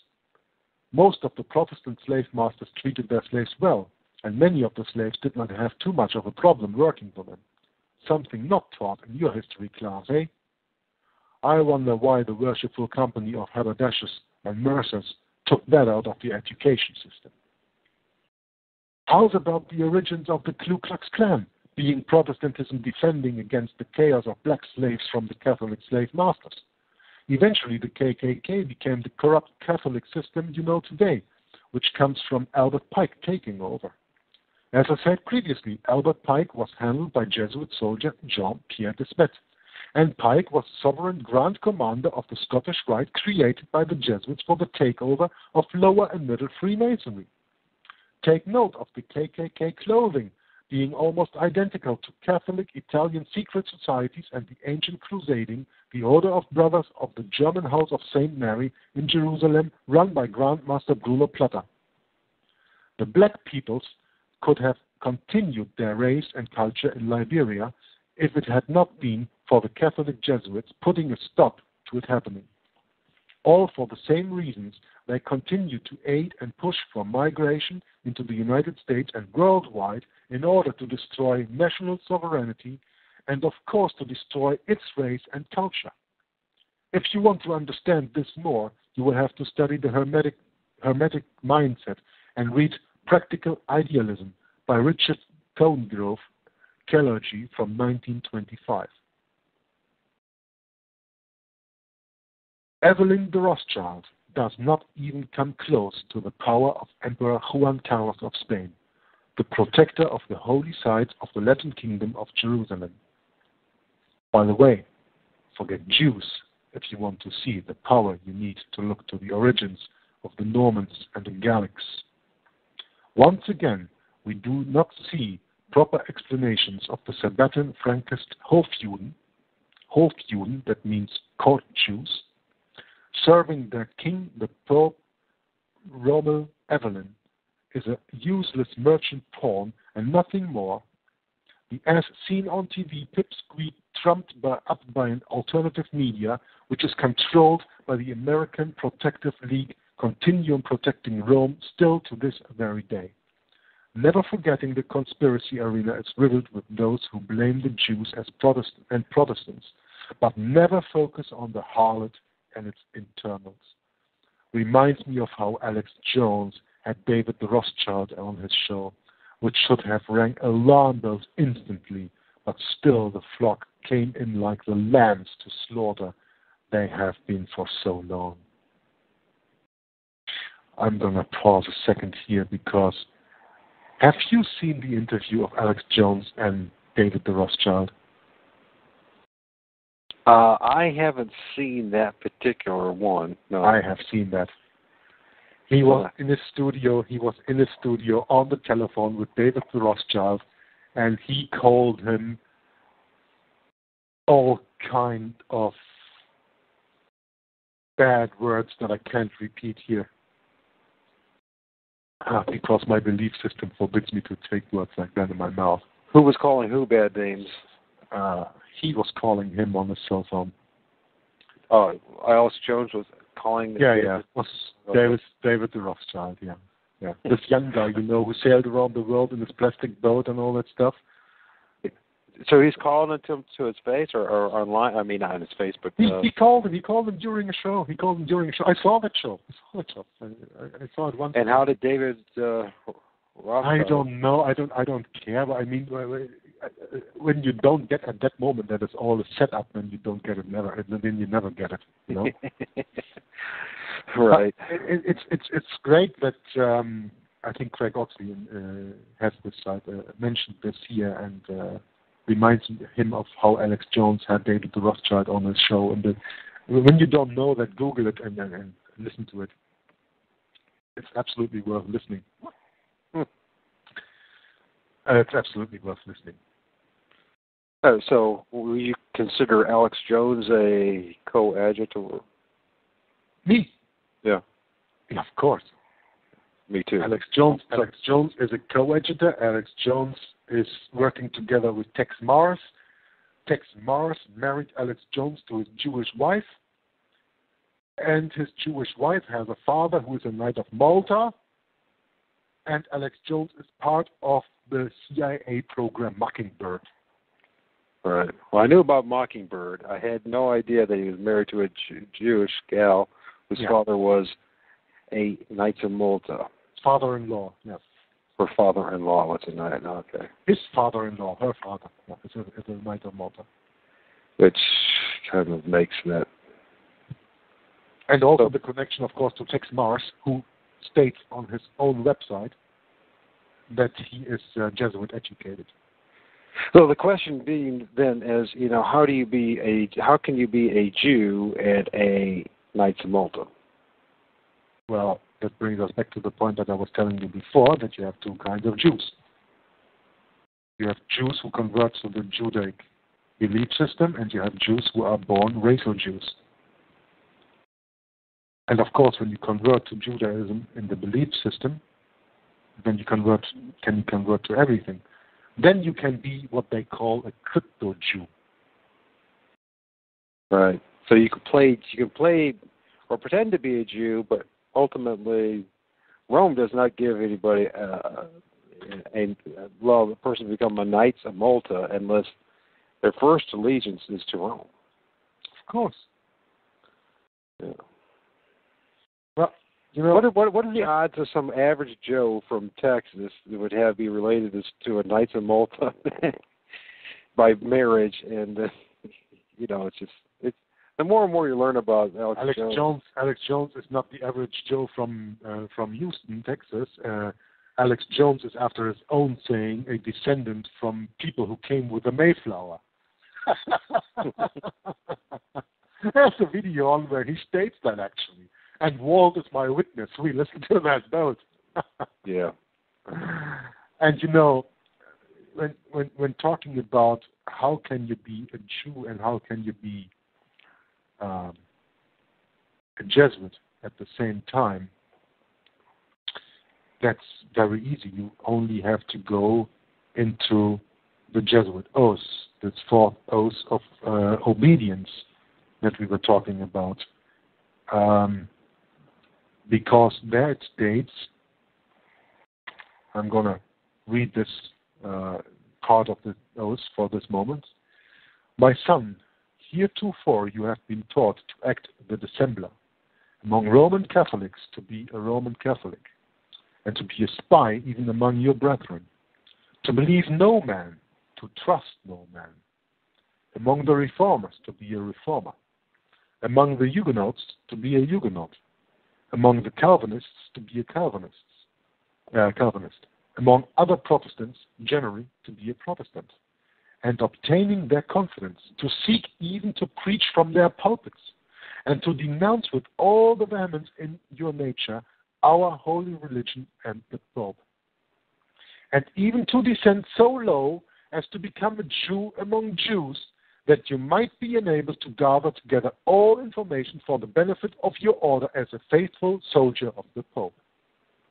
End quote. A Jesuit is whatever he wants to be. A Jesuit is a corpse, a zombie. He is dead because he has no mind of his own. He is whatever his superiors tell him. And when we go further in the oath, you will see that when the Catholic Church says white is black and black is white, a Jesuit accepts white for black and black for white, or good for evil. Right. It also goes along. 20 years of training, Michael. Don't forget it. I read it to you. 20 years of training. This is 20 years of indoctrination of Jesuit spiritualism, of spiritual formation. That is 20 years of indoctrinating your brain with their stuff. 20 years, day in, day out. They are mush in the hands of their superiors. They are Manchurian candidates. They are brainwashed. And you have to see you have different levels. Of course, on the top, that is different because they know very well what they do. But on the lower levels, they have no idea. The same that when you order, when, when you enter a, a, a Masonic temple and you say, I want to become a Freemason. Well, okay, you get ordained you're a Freemason on the first grade, second grade. You're a Master Mason, the third grade. You think you know it all? of course not. You're a third grade Freemason. You haven't you haven't even heard of the book Morals and Dogma, which is the Bible of Freemasons, which leads to the Luciferian doctrine. Albert Pike states that himself. can't quote that right now, so I won't do that. But you can look that up in Morals and Dogma. Albert Pike, Albert Pike quotes that um, Satan is their God. Doubt it not.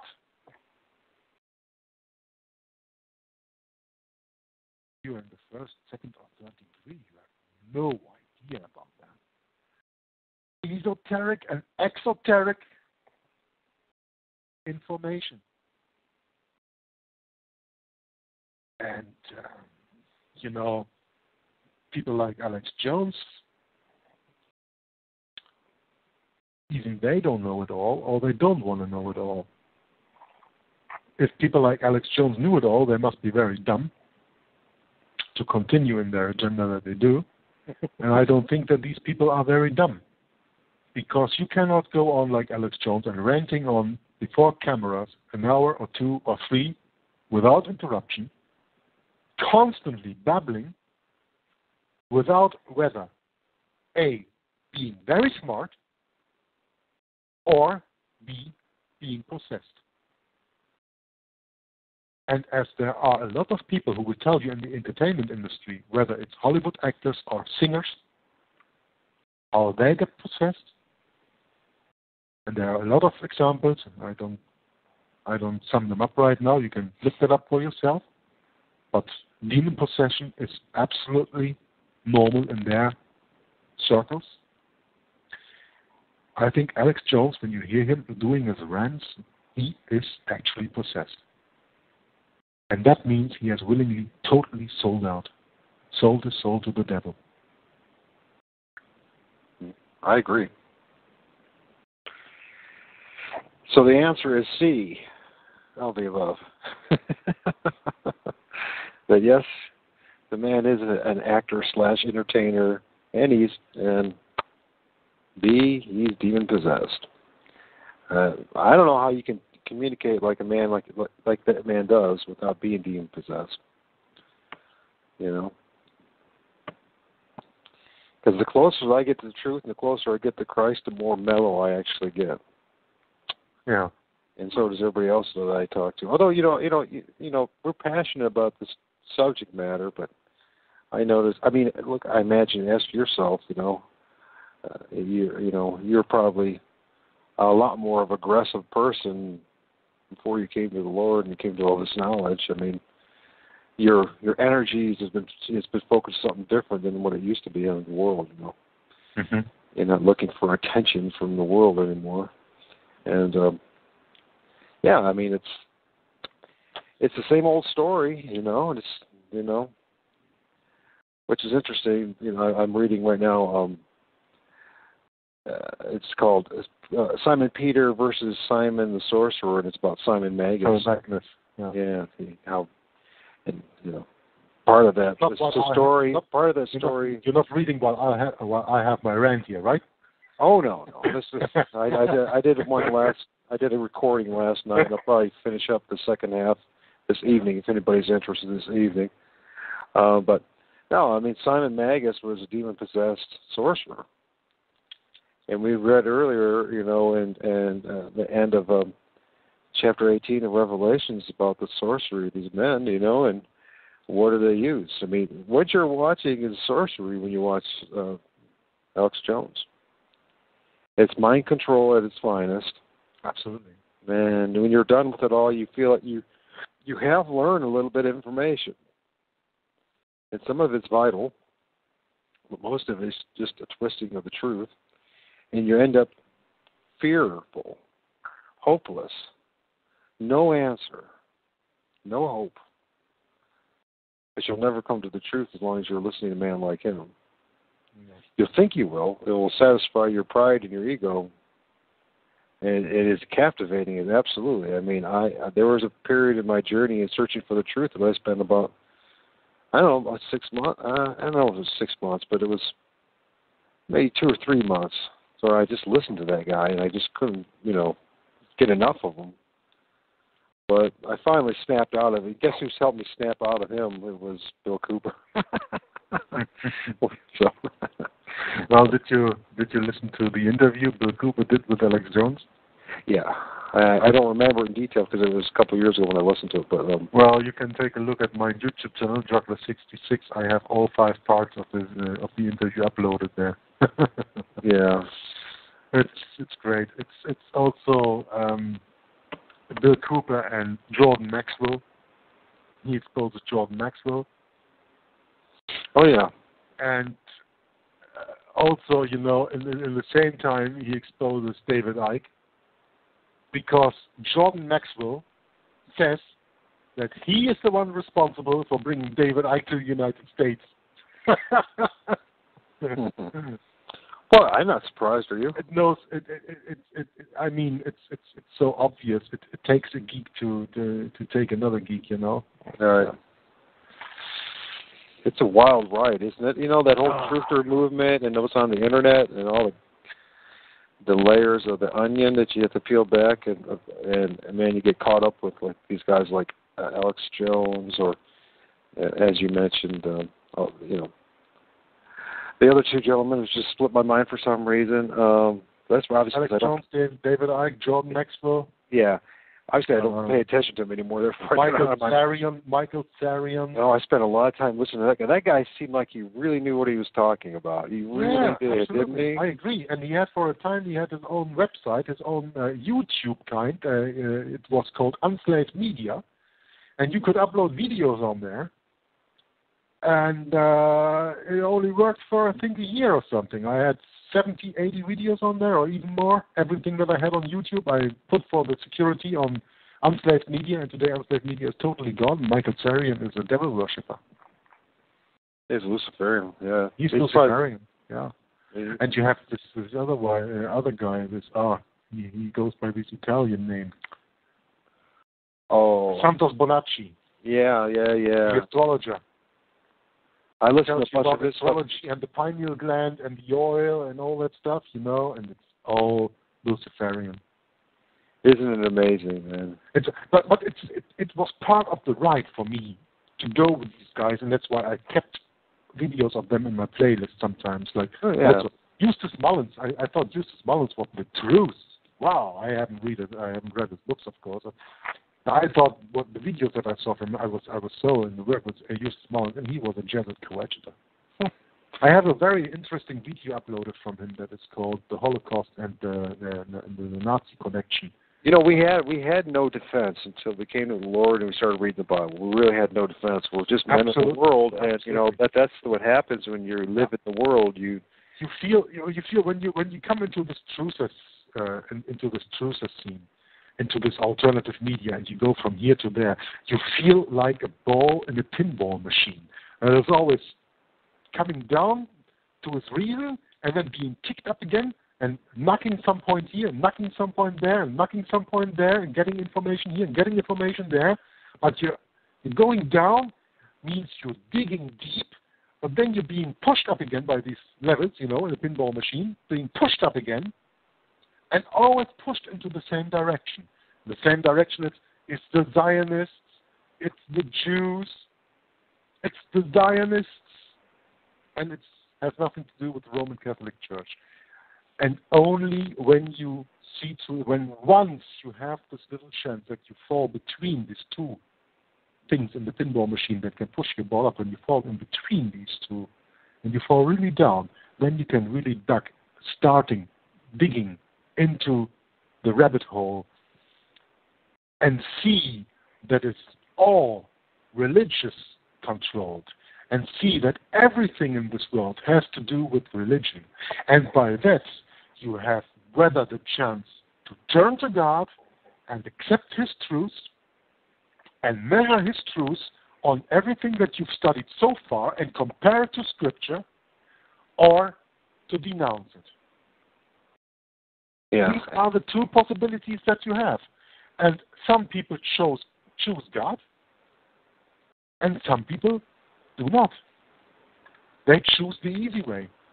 Because it is easier to live in a lie that you've heard a thousand times than the truth you've heard once. It's true. And it's more convenient. It's more convenient. It doesn't shake your belief system. It doesn't shake everything that you believed and everything that you've been raised for, everything that you've been educated through school, through university, through your job education, everything that you've shared with your family, with your friends, with your partner. Everything is shaken. Your fundaments are shaken. When you come to the truth of God, you feel like the World Trade Center tower collapsing everything that you believed and everything that you lived for up to that moment collapses. I mean, that's the way I felt. Oh, absolutely. Uh, you know, but you know, the, we're fortunate too because we came out of the world.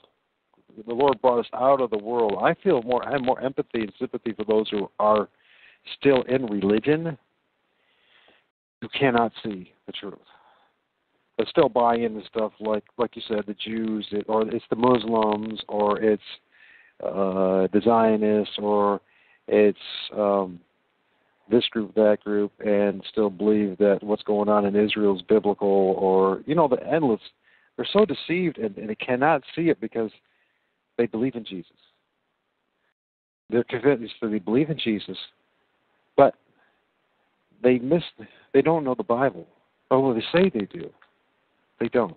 I mean, you just pointed out one verse in, in Luke 21, uh, 24 that anybody just reads that who's got the Spirit of Christ in them, the way, the truth, and the life, is going to look at that and go, wait a minute. There's something not right what's going on in the world, and what people are telling me. God, you know, Christ is the authority, not my pastor or some guy who has a talk show or, um, you know, somebody selling a book. Somebody's not right and I'm putting my bets on that Christ is right and the person's telling me the information is wrong. And when you put your faith in the Lord Jesus Christ and in the Bible first, everything starts to fall into place and it all starts to make sense. It's a scary place to be, though, like you said, because you have, most of us have to fall pretty hard in this process. Uh, you know, now I come to an understanding what true humility is. And humility is not based on the man's tone of their voice or how they present themselves. Humility is the fact that they are teachable and who's the one that's going to be their teacher. The true teacher, the one who true, either teaches truth, the way in the life, or somebody else's true, you know, concept, philosophy. So, so you know, the irony of irony is You look at like somebody like a Jesuit who demonstrates in the world the way the world sees things is actually quite humble men. As if you said that it's been, you know, you pointed out that been 20 years educating themselves. That takes a lot of humility to be teachable. Um, but the irony in all that is too is that the true humility that a man needs in order to be saved and to really make any difference, uh, meaningful, lasting difference, is to humble themselves to the what is the complete opposite of what the Jesuits are all about, which is the Bible. Really read the Bible for the first time, using you know allowing the Holy Spirit to, to guide you, listening to other people and be able to use discernment, and follow Christ Himself. Which then you know what happens is you know, you end up not belonging to a group, you end up belonging to Him, and you no longer are of any use to the Jesuit Society, the Society of Jesus, or Rome. And you know what? It doesn't even have to be Rome. It could be all its daughter churches and all its other machinations and creations, with all the political institutions that they've created and movements, and etc. You know, so and uh, what comes down to is I'm seeing when I see people who have followed Alex Jones, they're really not studying the Bible. They're not really putting their trust in the Lord. Why can I say that? Does it sound judgmental? Maybe, but the truth is, I say that because of my own experience and others that I've talked to who have come out of it. They all come to the same conclusion. and it wasn't until they surrendered to the Lord in the Bible that anything started to really make sense.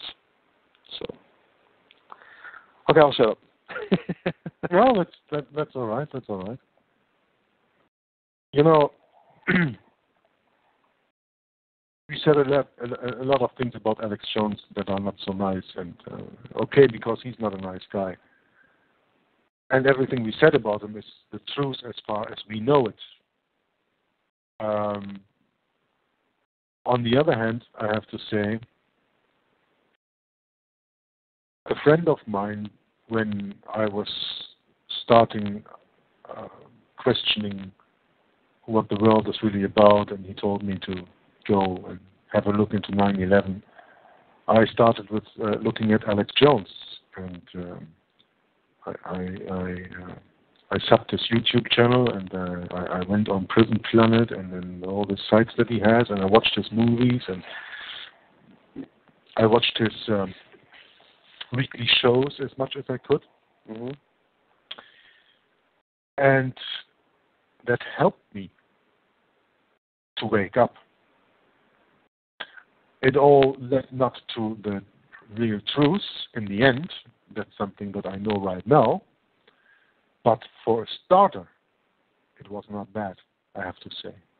And that is also why some uh, some videos uh, that are featuring Alex Jones I still have on my YouTube channel. There's, for example, um, this one movie. It's called um, The Obama Deception. It's from 2008, I think, in the meantime, from Alex Jones. And that movie I still have on my YouTube channel. But I also wrote in the description box that this is very helpful for the waking up, but there's never told the whole truth. Like I have also a movie on my second YouTube channel from Texe Marrs, uh, Obama Rothschild's Choice, where I write the same thing. That there's a lot of disinformation in there, and that you should always question this Jew thing and see the Jesuits behind them. I write that. But I will give the people the opportunity to see this movie and then do their own research up, upon that.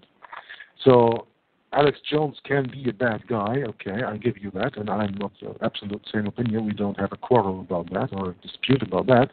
But for someone who comes from nothing to know nothing to come in touch with Alex Jones, and by that maybe his light starts to work in his brains, and then he sees for himself that he has to study further on, then um, Alex Jones is a good step in. Let's say it like that. Yeah, uh, a, a good I think step, so. A good, a good, a good part to start with, you know with, all the bad things attributed to him, okay, I, I give you that, and I'm absolutely of the same opinion. But I still think that if you are, if you have never heard anything of the so-called truth, and then you found Alex Jones, then at least you will start to get awake by that. In that way, he is helpful, but for nothing else. Well, you know, I agree with you, especially for those of us who are starting out, waking up, coming out of the world, and uh, those folks that I see what the danger is who are still playing church eh, Christian or churchianity. Uh, they go to church on a Sunday, read the Bible a little bit, call themselves Christians, and still are, are focusing and listening to guys like Alex Jones. There's a great danger in that. What I think what happens is they become extremely confused. I know this only from my own personal experience, and um, we have, you know, I guess what comes down to too is a man has to really want to know the truth. Not that the man, not that that man is true, but the man wants to know what the truth is, has a love for the truth, and eventually, what will happen is you start seeing the contradictions. God will slowly wake you up, lift that veil a little more, and you start to realize what's going on with, uh, you know, Alex Jones and what's going on with the Bible and other other areas of life doesn't really gel. I have to make a decision. I got to let go of something. What do I let go of? I had to let go of Alex Jones, and then I moved on to another direction, you know, to somebody else, and then I moved on and moved on until I finally came to a, a conviction that, you know, either the Bible's real and Jesus real or it's not, and nothing's real. it's all made up bunch of crap, and just pick whatever crap of flavor you want for the day. You know? Yeah, the world is just a hologram, and I am yeah. I think I am. yeah, David Icke, there you go. This new age stuff that they put out there. You know, yeah, that's right. No, that's that, that's absolutely true. What you said, like I said, I I, I think um, Alex Jones can still be uh, helpful for some people, and uh, or Arctic Mars or David Icke or whatever, just to wake up, or just they have to see that that is not the street they have to go for the whole time. I mean, God took a long way with me also because it took me 47 years to wake up. So. Yeah, me too. I mean, I'm I'm 46. Not like I, you know, I've been. But but, but, but you were you were quite um, religiously raised with your Mormon background and everything. So that was maybe not the real religious background that you wanted, but but you were raised Mormon and then you were always involved with the church from the child on, right? Uh, no, I mean I I went on a mission, and after that I left the church in my early twenties. So, and Okay, uh, I joined I joined as it was eight, and, and, and as far as the church goes, actually my experience from Mormonism really uh, gave me a foul taste of religion. In fact, I I hated religion and pretty much became an atheist. So, I didn't want anything to do with religion. same with me, even though I was not a practicing Protestant or a Protestant or a practicing Catholic or whatever. I mean, I was raised Protestant. If anything, my mother was Protestant, but I never saw the difference between Protestantism and Catholicism, because when we went to church, we also got the Jesus cookie. Uh, and, and then I don't understand where the difference is. And when I asked somebody, okay, where's the difference between um, uh, between Catholicism and Protestantism, nobody could explain it to me in the way that I understood it. Right. So when I had this confirmation, that's one of the sacraments in the Roman Catholic Church. We have the same in the Protestant Church. I was 14 years or something. I just did that because my friends did that, and, and they said they did that because they got money from their Right. family. Yeah, I had a small a small family. I needed money, so I said, "Oh, I'm going to do the same stuff." Well, therefore you have to go to church. Well, I don't care where I sit. I go to church. Okay, I don't care. Yeah. I, I sat there, I prayed, I, I sang. I didn't care what I did because I didn't believe in all that. You know, it was all a hoax to me. When I I, when I got baptized, when I got baptized in the in the church when I was 14 years old or something, that was a day that I went on to play with my friends, and we were doing a military exercise game, and I had military pants and military boots and a military shirt on, and I walked like that into the church, got sprinkled water on my head, and went out there right away because otherwise I couldn't catch my train to Friedrichsruh outside in Germany where we were going, and we were having this military maneuver playing. You know, that was the kind of commitment that I had to the church when I was young. I think a lot of us would have- Camouflage, camouflage trouser, shirt, and military boots. That's the way I went to church for my baptism. Right. And you can ma- you can't make stuff like this up. This No, really you can't. Can ask my mother. It's really true. She says she's still appalled about that. so, You know, as far as me and my childhood, I would have to give credit credits to. Um, I'm sure that if the concept and the idea of Christ in the Bible was not shared to me as a, as a young man or as a child, um, that I uh, there's a good possibility that I would not, you know, 20 some years later come back to it. You know what I mean? Mhm. You know that you maybe you know to try it one more time and try to understand it. You know who is Jesus Christ for the first time. Maybe re- really study the Bible and try to comp- understand it. You know, and not just doing. You know, and I had to fight really hard not to join any group because that's a natural response that many of us do when we first come to the Lord. We think that we need to go join a, a religion because everyone tells us you have to. Um, but I'm so grateful now that I haven't done that. Because that's Yeah, another that's another th- problem with joining a group, a religious organization, Oh, man-made religion. It it clouds your judgment and it keeps you from asking, going far enough and falling in love with the Lord, the way, the truth, and the life. And what happens is you just end up being boxed in by whatever religious organization you're in, and you never. That's what happens to many Christians. You never come to the realizations that you and I have come to realize because we have not been bound down by religious creeds and dogmas and doctrines. We don't have an affiliation with any organization. We're just been, want to know the truth, and it will inevitably lead to this conversation that we had today about the Jesuits and Roman Catholicism. okay, Michael, I'm gonna continue reading. Okay. on the article from the Unhived Mind. Um, okay? Okay. Right. Okay. Same as how Harold, uh, Carroll Quigley focuses on the Anglo-American but forgets conveniently his whorehouse Georgetown Military Fortress University and the Jesuits. Just another Jesuit diversion to keep you from sniffing at the Roman power in plain sight. Just like Lyndon LaRouche promoting the wicked, vile Roosevelt of the opium smuggling connected clique of the worshipful company of the apothecaries and how he was Knight of Malta connected vermin. The only true American presidents at the end was Andrew Jackson and Abraham Lincoln and of course US President John F. Kennedy. Lyndon LaRouche, of course, has connections to both French Masonry and Scottish Rite with his KKK connection.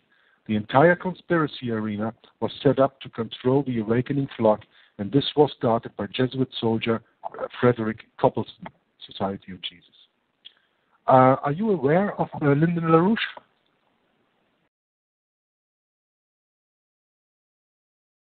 No, I think when you when you don't answer.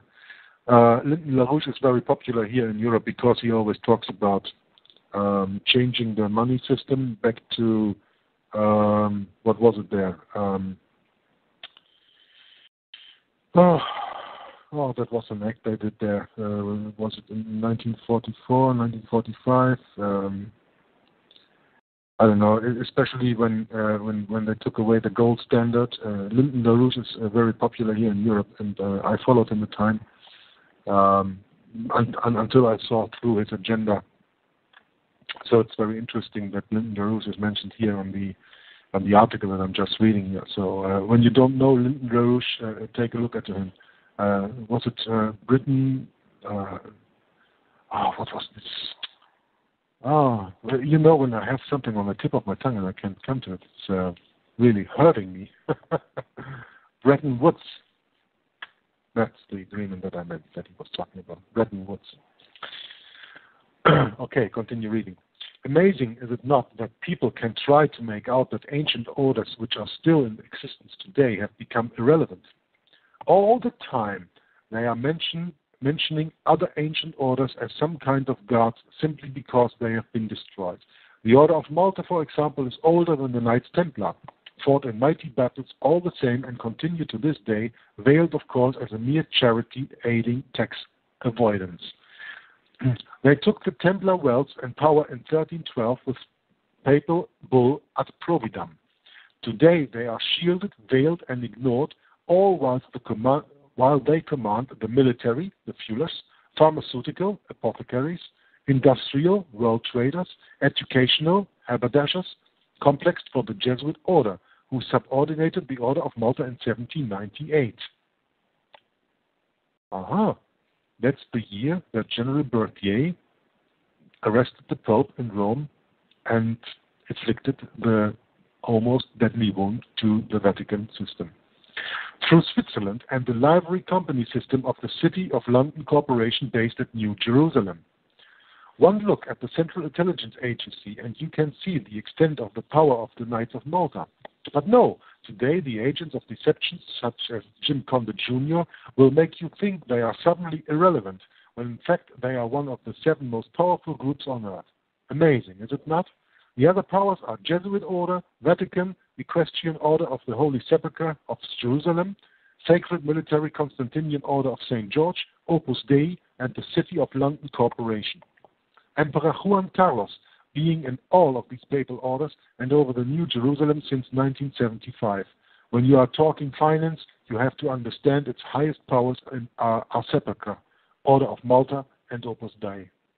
By the way, uh, Juan Carlos retreated uh, as King of Spain this year, I think, and his son took over after all these years. The Jesuit order itself is nearly 500 years old and has destroyed popes, kings, princes, governments, and politicians. Today, the Jesuits are now suddenly ignored. How convenient for the Council of Trent. The same as how today you are taught history just happens, whereas years ago you were taught history was a well uh, was all a conspiracy where people were conspiring. The same as today they class anything over 30 years old as ancient history, is it a wonder the dumbed down flock cannot grasp ancient order knowledge with their lacking intelligence and common sense skills destroyed today part through the linguistic minimalism agenda? All, run, uh, all dumbed down, of course, by the worship company and haberdashers mercers running the education system of the world from New Jerusalem with the addition of the company of educators. Not forgetting the old true definition of Jesuit being a clever person who deceives the people. Another diversion today is how they try to hide the fact of the Jesuit secret oath of the fourth vow.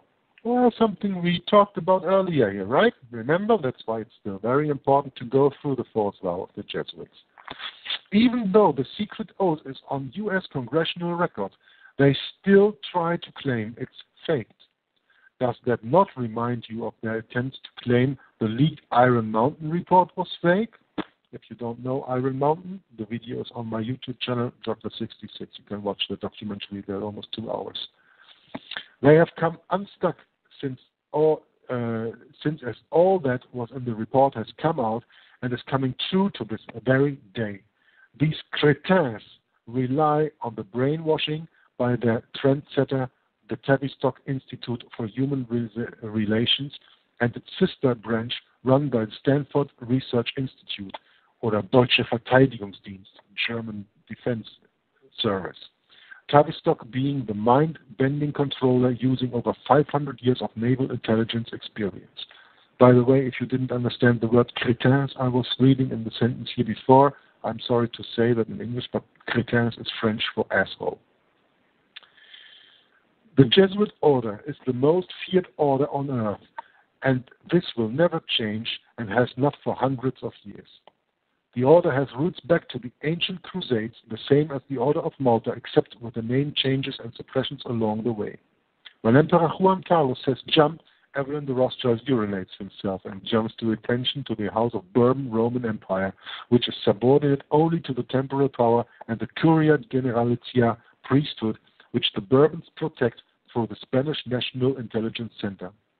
You should notice the Rome-born emperor has his main dwelling at Piazza di Spagna at Villa Medici in Villa Borghese, right next to the powerful propaganda fide controlling all the Vatican lands worldwide. This is uh, this is the second power of the Vatican, and some say a greater power than the one you would imagine. You want to ignore the greatest merchants on earth, the Order of Malta, the Amalfi, and the most powerful priesthoods feel free, but it is extremely foolish.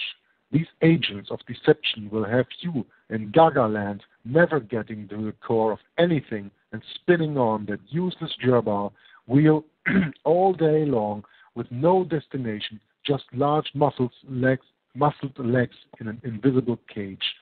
The heart and kidneys of this conspiracy is the Jesuit order and their papal orders. You will note how temporal coadjutors twist information presented by ourselves just to suit their little diversion agenda. The Sabbatean Frankists came about in the middle 17th century, not 20 centuries ago. The Vatican has controlled the Talmudic labor Zionists outright, no ifs or buts, since the 17th century. And the splitting of the Jews, the Sanhedrin said, We have no king but Caesar. These agents like to ignore the power of the Roman Empire, which is the roots of the Vatican today. Study the Roman Empire and then think very carefully. The Caesar became the Pope, and the Senate became the College of Red Cardinals. Today, Washington, D.C. is modeled after the Roman Empire command. Nothing more than the continuation of the Mithra solar religion, with the Pope being the door to the son of Horus and his cardinals being his hinges. For now, the Pope is seen as Osiris, but when the final Pope is slain and risen, he has finally symbolically become Horus in the time for the New World religion, Age of Aquarius, Aeon of Horus, with the full power over the entire earth. The atheists will then be mind reframed once again back into the new worship of Lucifer, since their last job was completed in aiding the destruction of all religions along with Jesuit infiltration of all churches through their infiltration training, as pointed out by Hiram Dukes and others. Not forgetting the demonic charismatic movement and the destruction of Christianity, which can be witnessed in Texe Marrs' exposure on the fake Christian, uh, Christians up to their trickery. Welcome to the Jesuit New World Order. May its soldiers and coadjutors rot in hell. To be a true Christian, one has to hold a Puritan, true Christian Bible, being the Geneva Bible, which has been banned and has been and has never entered a Templar Freemasonic lodge. The King James Bible was pirated by the New Jerusalem ancient pirates using a cultic Enochian magic master, Sir John Dee of the Worshipful Company of Mercers. So when you see temporal coadjutor Jordan Maxwell, aka Russell Pine, attack the astronomy and the cult areas of the King James Bible, you can now understand why and how it too is not true Christianity, and how it is yet another tool for the eventual destruction of the true Christianity into the age of Aquarius or the Aeon of Horus. Something which the likes of Maxwell and Icke can harp onto now to aid the agents of pushing people into the New Age movement, which was mastered by Jesuit soldier Pierre Teilhard de Chardin. End of the reading of the article. Well, I have never read the last article because otherwise I would have maybe directly made a little note on this King James Bible. Um, I saw enough videos from uh, Walter Veith to explain how the King James Bible is the only trustable Bible in English. On the other hand, I also like the Geneva um, 1599 version, and you can look that one up. And um, I always said um, that it is nice to compare the two Bibles, the Geneva and the um, King James Bible. So when you can put them both uh, side by side, you can compare them, and you will see the differences are not so much.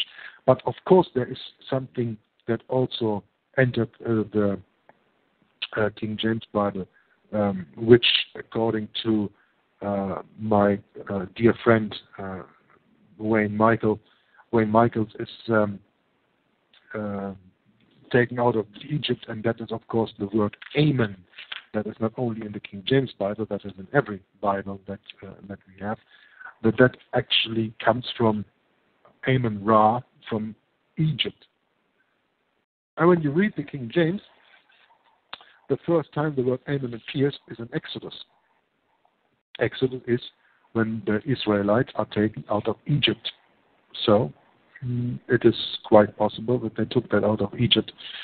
And uh, anyway, there's an interesting uh, article about how do you end your prayers on the website Avenue of Light from Wayne Michael.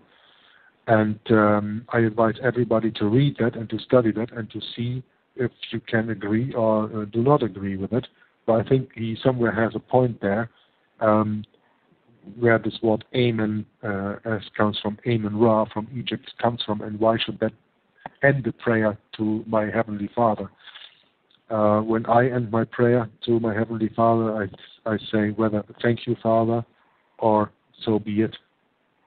And then I think He knows what is meant. So I don't need any other words for that. Whew. That's been quite a reading. Yeah, I would say. I you know I've never read the Geneva Bible yet, so I don't know what the difference, the significant differences are, but it makes you wonder. So. well, the Geneva Bible is, is also mainly based on uh, Tyndale, Tyndale's writing and Wycliffe's writing, uh-huh. uh, and Huss took them took that took took that with him to Geneva, I think, uh, and then that was perfected or, or, written in the end. And then you have this um, uh, publication from the Geneva Bible of 1599, and you can find that one online. All right. If you can find it, I have I have a link here. I can I can send you the link via Skype, and uh, you can find them and you can read that uh, that Bible online.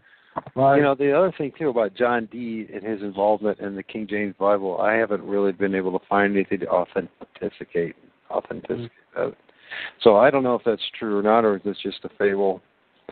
Um, yeah, you know, I, I mentioned the videos that I saw of uh, Walter Veith explaining how the King James Bible is the only acceptable uh, English-spoken Bible, the real Word of God.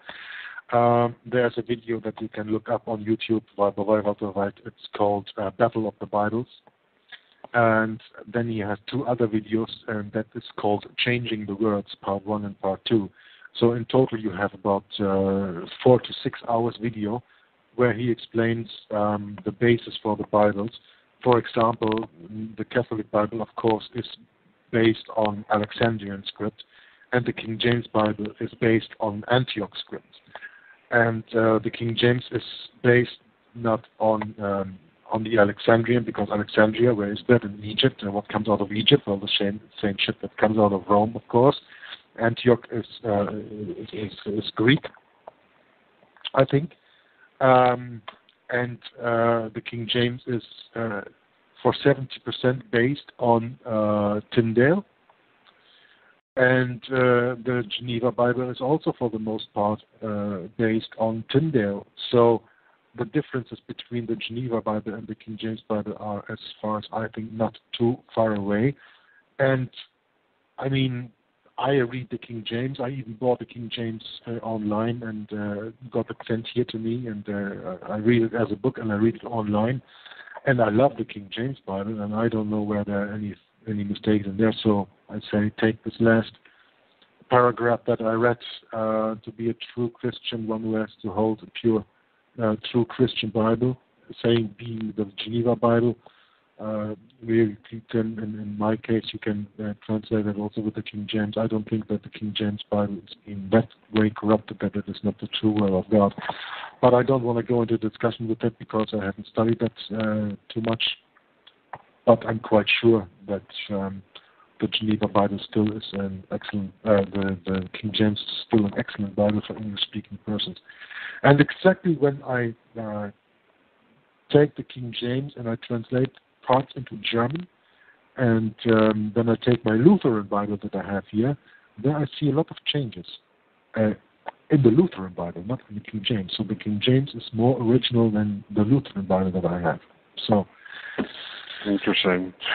You know, and then we got the this is a side note, the New American Bible, which is a Jesuit creation.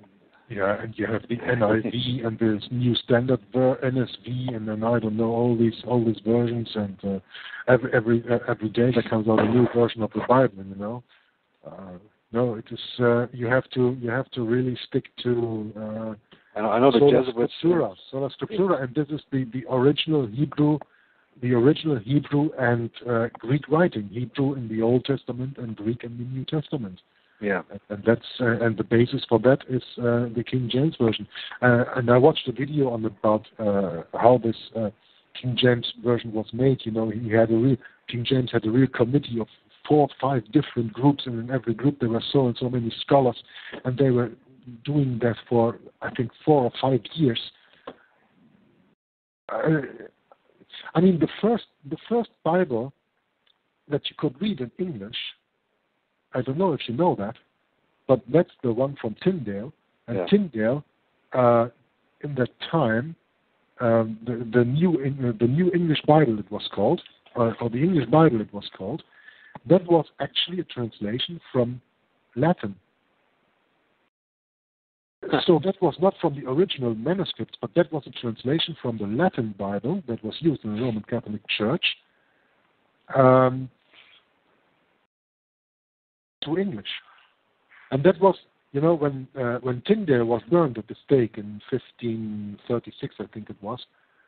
Um, he was uh, strangled and then uh, and then burned alive on the stake and it is said that the last thing that he cried out on the stake was, "Oh Lord, open the eyes of the King of England." Right. And the year after that, uh, Henry VIII uh, published the uh, first English Bible in um, uh, the first Bible in English, and that was the translation that in the main, and that was uh, from uh, from Latin. I see we have a question here about how does Switzerland connect with the Jesuits. Well, that is a very interesting question, and we have had uh, Sean Ross from uh, the YouTube channel Gire and Chatzefratz uh, an original South African who's been living for more than 20 years in Switzerland right now on that, and he was dealing with that. I myself have not gone too deep into uh, the connections, but I can tell you a few things that maybe interest you if you haven't uh, known that. First of all, Switzerland was founded by the Knights Templars. The Jesuits are the revived Knights Templars. Right. In Zurich, which is the capital of Switzerland, you have the, a bank that is called the BIS, the Bank of International Settlements. That bank is the mother of all central banks worldwide. So you have in every country you have your central bank, like in the United States of America, you have your Federal Reserve. Here in Europe, we have the European Central Bank, but in all the other countries, we have here the Belgian Central Bank, we have the German Bundesbank, uh, we have the Switzer Bundes, Schweizer Bundesbank, uh, Österreichische Bundesbank. So every country has its own Bundesbank, central bank. And the mother bank, the central bank of all these central banks, is the Bank of International Settlements. That is in Switzerland, in Zurich, and owned by the Rothschild family, who are, which we have learned tonight, the guardians of the Vatican treasure and being Knights of Malta, being Jesuit controlled. So where is the connection to Switzerland and the Jesuits? I think that is kind of obvious at that point.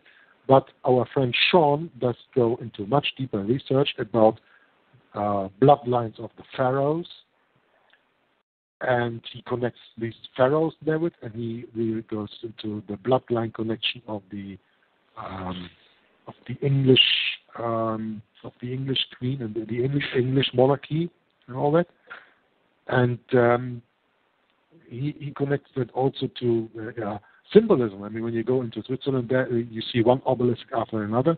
Obelisk uh, that is sun worship coming out of Egypt. Egypt is of course Pharaoh, but Egypt is also Isis, Horus, and Ses. IHS, which is the initials in the Jesuits' emblem.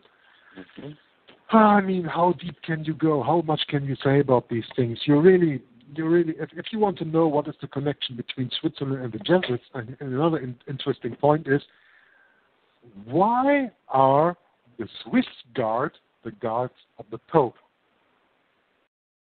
And why are there many neutral countries, like, for example, in the First World War and the Second World War, Belgium was neutral, the Netherlands were neutral, but they were both invaded by Germany.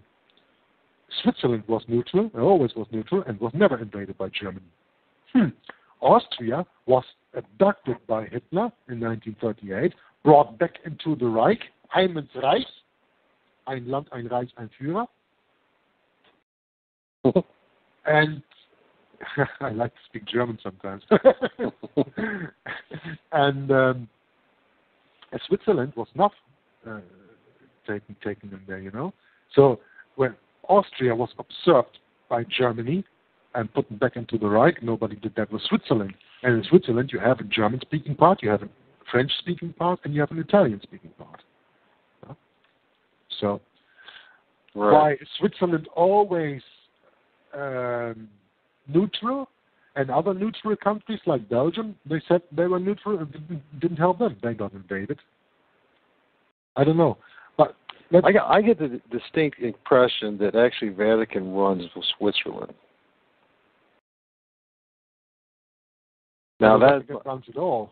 Yeah, well, but in particular, yeah, but in particular, it's you know we look at Switzerland being a neutral country during these wars that the Vatican or the Jesuits created themselves. Looking at the banking industry and how the you know the largest bank in the world and where all the Vatican's gold is is in Switzerland. Um, it just goes on and on and on. You just realize that the Vatican, um, whether it's officially out in the public declaring it is one thing, but if you look at their actions, where their gold is, where their wealth is, where the Swiss Guard is, uh, the banking situation, how Switzerland was so much involved in the creation of the Nazi Party, on and on and on. You get to a point, you just look how many Jesuits came out of Switzerland. um, uh, you can only, you know, come to one conclusion basically that of course, if you if you consider that Switzerland was founded by the Knights Templars and Yeah. the Jesuits are the revived Knights Templars, there you have your connection. absolutely How, how deep does that go? I mean, I think, I think personally, all the gold in the world is not in Fort Knox, is not in the Federal Reserve of New York. All the gold in the world is in Switzerland, I agree too. hidden, hidden in the mountains. And they never sent it over to China like other folks are trying to tell us in the past couple of years that China's Yeah, kept China eyeing up all the spent gold. That many gold, ah, come on. Rome's not going to give up Gold. its gold. It doesn't give up its gold. Never has given up its gold, and it's certainly not going to send it over to China. Like like with the gold price, the gold price is um, uh, is set by uh, people like the Rothschilds who control international banking, like the oil price and everything. There's no free market of these stuff, of those stuff. So, no, um, that, that's all controlled, you know. But the point is, um, you want the Jesuit connection to Switzerland? Well, Jesuits are the revived Knights Templars. The Knights Templars founded Switzerland. Uh, Switzerland is a brothership. Uh, we we should go into that maybe with Sean. Uh, Switzerland has the international abbreviation CH, that's the, uh, HC, that stands for Helvetica uh, and, something else. Helvetica, that, comes from Greeks, from Greeks, I think. So um, this is really something you have to dig deep into, and I cannot go into that subject right now because I don't have the background. I say that honestly when I don't know anything about. I tell you, I, I tell you the connections that you can make that I make here, and say, okay, go and research that. But I don't have all the answers. And, No, uh, there's so many. But yeah, one thing I saw, Sean Ross, his last name spelled H R R O S S. Yeah, he's you know having a very hard time right now, folks, and you know he shared with us, and you know, that he's in prison right now. He could need our he could need our prayers. Yeah. He could really use our prayers, so remember that. We got another question, by the way. hmm Question number two is: Can you ask this guy who he thinks is behind the worldwide demonic, demonic, excuse me, organized gang stalking program? Well, if you're asking me, I have to tell you that I am not aware of a demonic organized gang stalking program. I have not information about that. I have heard about that. Um, stalking is um, is is kind of a new word, but it's actually an old thing, you know. Um, yeah. um, this it is it is always to focus on on, on somebody and um, uh, to discredit that person uh, and to put fear into that person. So when you are um, thinking that there is a worldwide demonic, uh, demonic organized gang stalking program, well, then you are not wrong because the devil and all his demons are after every soul that searches the truth, that loves Jesus Christ. And that I would call a worldwide demonic, a demonic organized gang stalking program because they want our souls. Nothing more and nothing less. How do they do that in practice? That's something else. There you have probably some people that you can um, encounter in your workspace.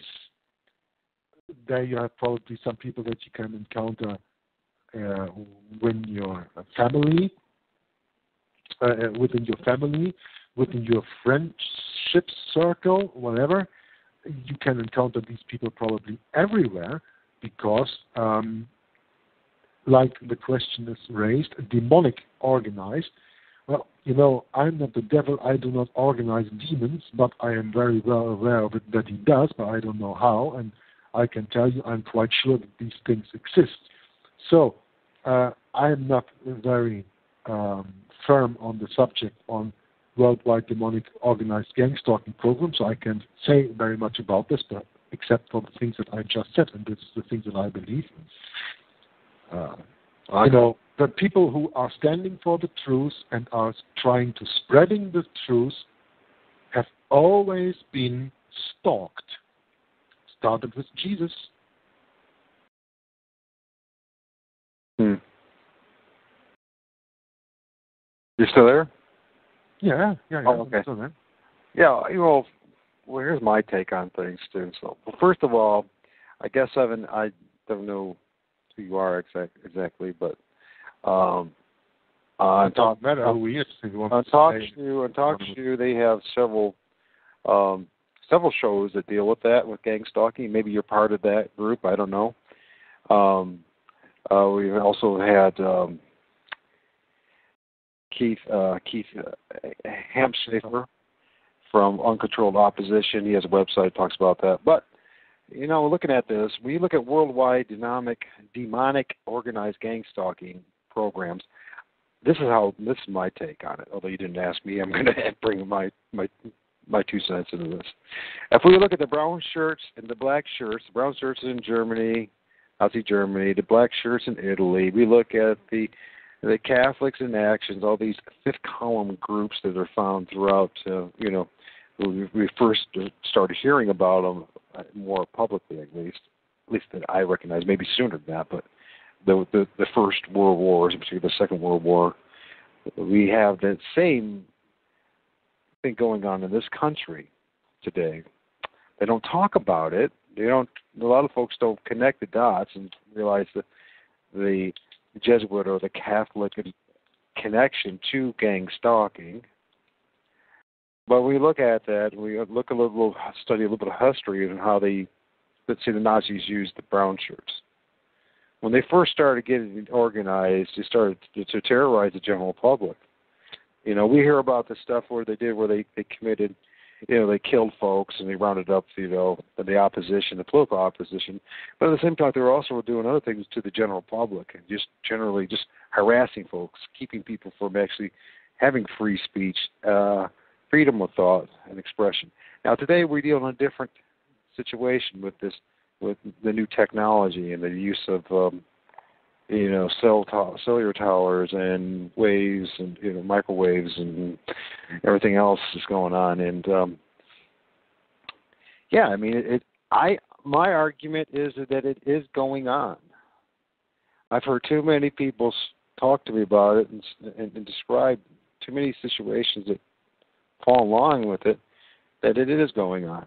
I also argue that the only defense that there really is is having a personal relationship with God and reading the Bible uh, on a daily basis, and there is no other answer to this. What's going to happen? And it's going to ramp up. It's going to get worse. Um, as far as it being uh, demonic, absolutely. You know what? I mean, you only have two choices in this world, whether you believe it or not. Either the Lord, uh, either God's spirit's with you, or somebody else's spirit's with you you don't get a choice and it beyond that. So you make your choice. We all have to make our choice. And a lot of folks are not going to make their make the right choice. They're not going to follow Jesus Christ. They're going to follow their own wills, whims, their own desires, or false religions like Roman Catholicism and the multitude of other ones, and that makes them ripe candidates for demon possession. Now you have to ask yourself something. People in these groups that walk around and and you know It'll do like what's it? It's called that knockout thing where they go around and they punch people just out of the blue. They start beating up somebody. You know, do you think that's the spirit of God in them? You know, uh, I don't think so. And if you look at all the other different things that go on, um, so who is behind the worldwide? Now, this this is the importance of this question because he says worldwide. Now, what organization is capable of having anything like a worldwide organized program. What do you think that would be? I'm asking you, Jörg, if you're still there. yeah, yeah, I understand. I understand that you asked me, but that's that's the point that I was making. That is all from come, comes all from the Jesuits. Yeah, because from Rome, it's always been. yeah, all, all, roads, all, all roads, all roads lead to Rome. I don't know if I said that in the broadcast or if I said that in the private conversation. I'm going to gladly repeat it right here. There are a lot of people who say all roads lead to Rome. Yeah, okay, that's a good. All roads lead to Rome. But do you know why all roads lead to Rome? Because Rome built all the roads in the first place. Rome was 2,000, 2,500 years ago the civilization that we have that conquered the world, that conquered Europe. And to conquer Europe, they had to move troops. And troops walk better on the road than through the wilderness. 2,000 years ago and today, still the same. On the road, you walk easily. So Rome built the roads for their troops to move and for the supplies that had to move after the troops. And it's still the same today. Do you think Adolf Hitler built the Autobahn, the German highway system, because the few Volkswagens that run on there? No, he built the Autobahn for the troops to move, for the tanks and everything to get moving. That was the reason of the Autobahn. And that's the same for the highway system you have in the United States of America. You're going to wake up there when you're in the Fourth Reich and you will see them. And then you will see what your highways are for. Well, the ones they maintain. The ones they don't maintain, they are for the lay people. But the way they, the, the ones they maintain, they need for troops moving. And then it's the same in every country. All roads lead to Rome because Rome built the roads. Simple as that. Rome was the only one who needed roads. People who were living in the country they didn't need any roads. Why? Why did they need it for? They were self-sufficient with their with their food and everything. They had the neighbors and exchanged that, and they didn't uh, they didn't need any roads. They didn't need any big cities. But that's Rome. That's the extension of Rome. Yeah. And you know, this thing when if if one can accept the truth, it's not a premise or some my opinion, it's the truth. We live in a Roman Catholic country created by the Jesuits. They control all aspects. Let me let me explain. When I say they control all aspects of our lives, that means they control the media, they control the internet, they control the military, they control the government, they control big business, they control the banking. If I missed it, they control religion. They control all of it. At the top, you're going to find Jesuits. You're going to find Roman Catholics. I know that's a bold statement. I, I challenge you to go up there and prove me wrong because you're going to find out it's actually the truth. Um, we started, you know, if we look at the United States government, hmm. you know, we got a vice president. He's a Jesuit. And we got yeah, Boner. Boner for the Republican Party on the other side, who's a Jesuit. Yeah, yeah. We got we got we got Obama, who was Jesuitly trained and and and who had a degree from Notre Dame. Yeah, and you Jesuit uh, high school. He's a Jesuit.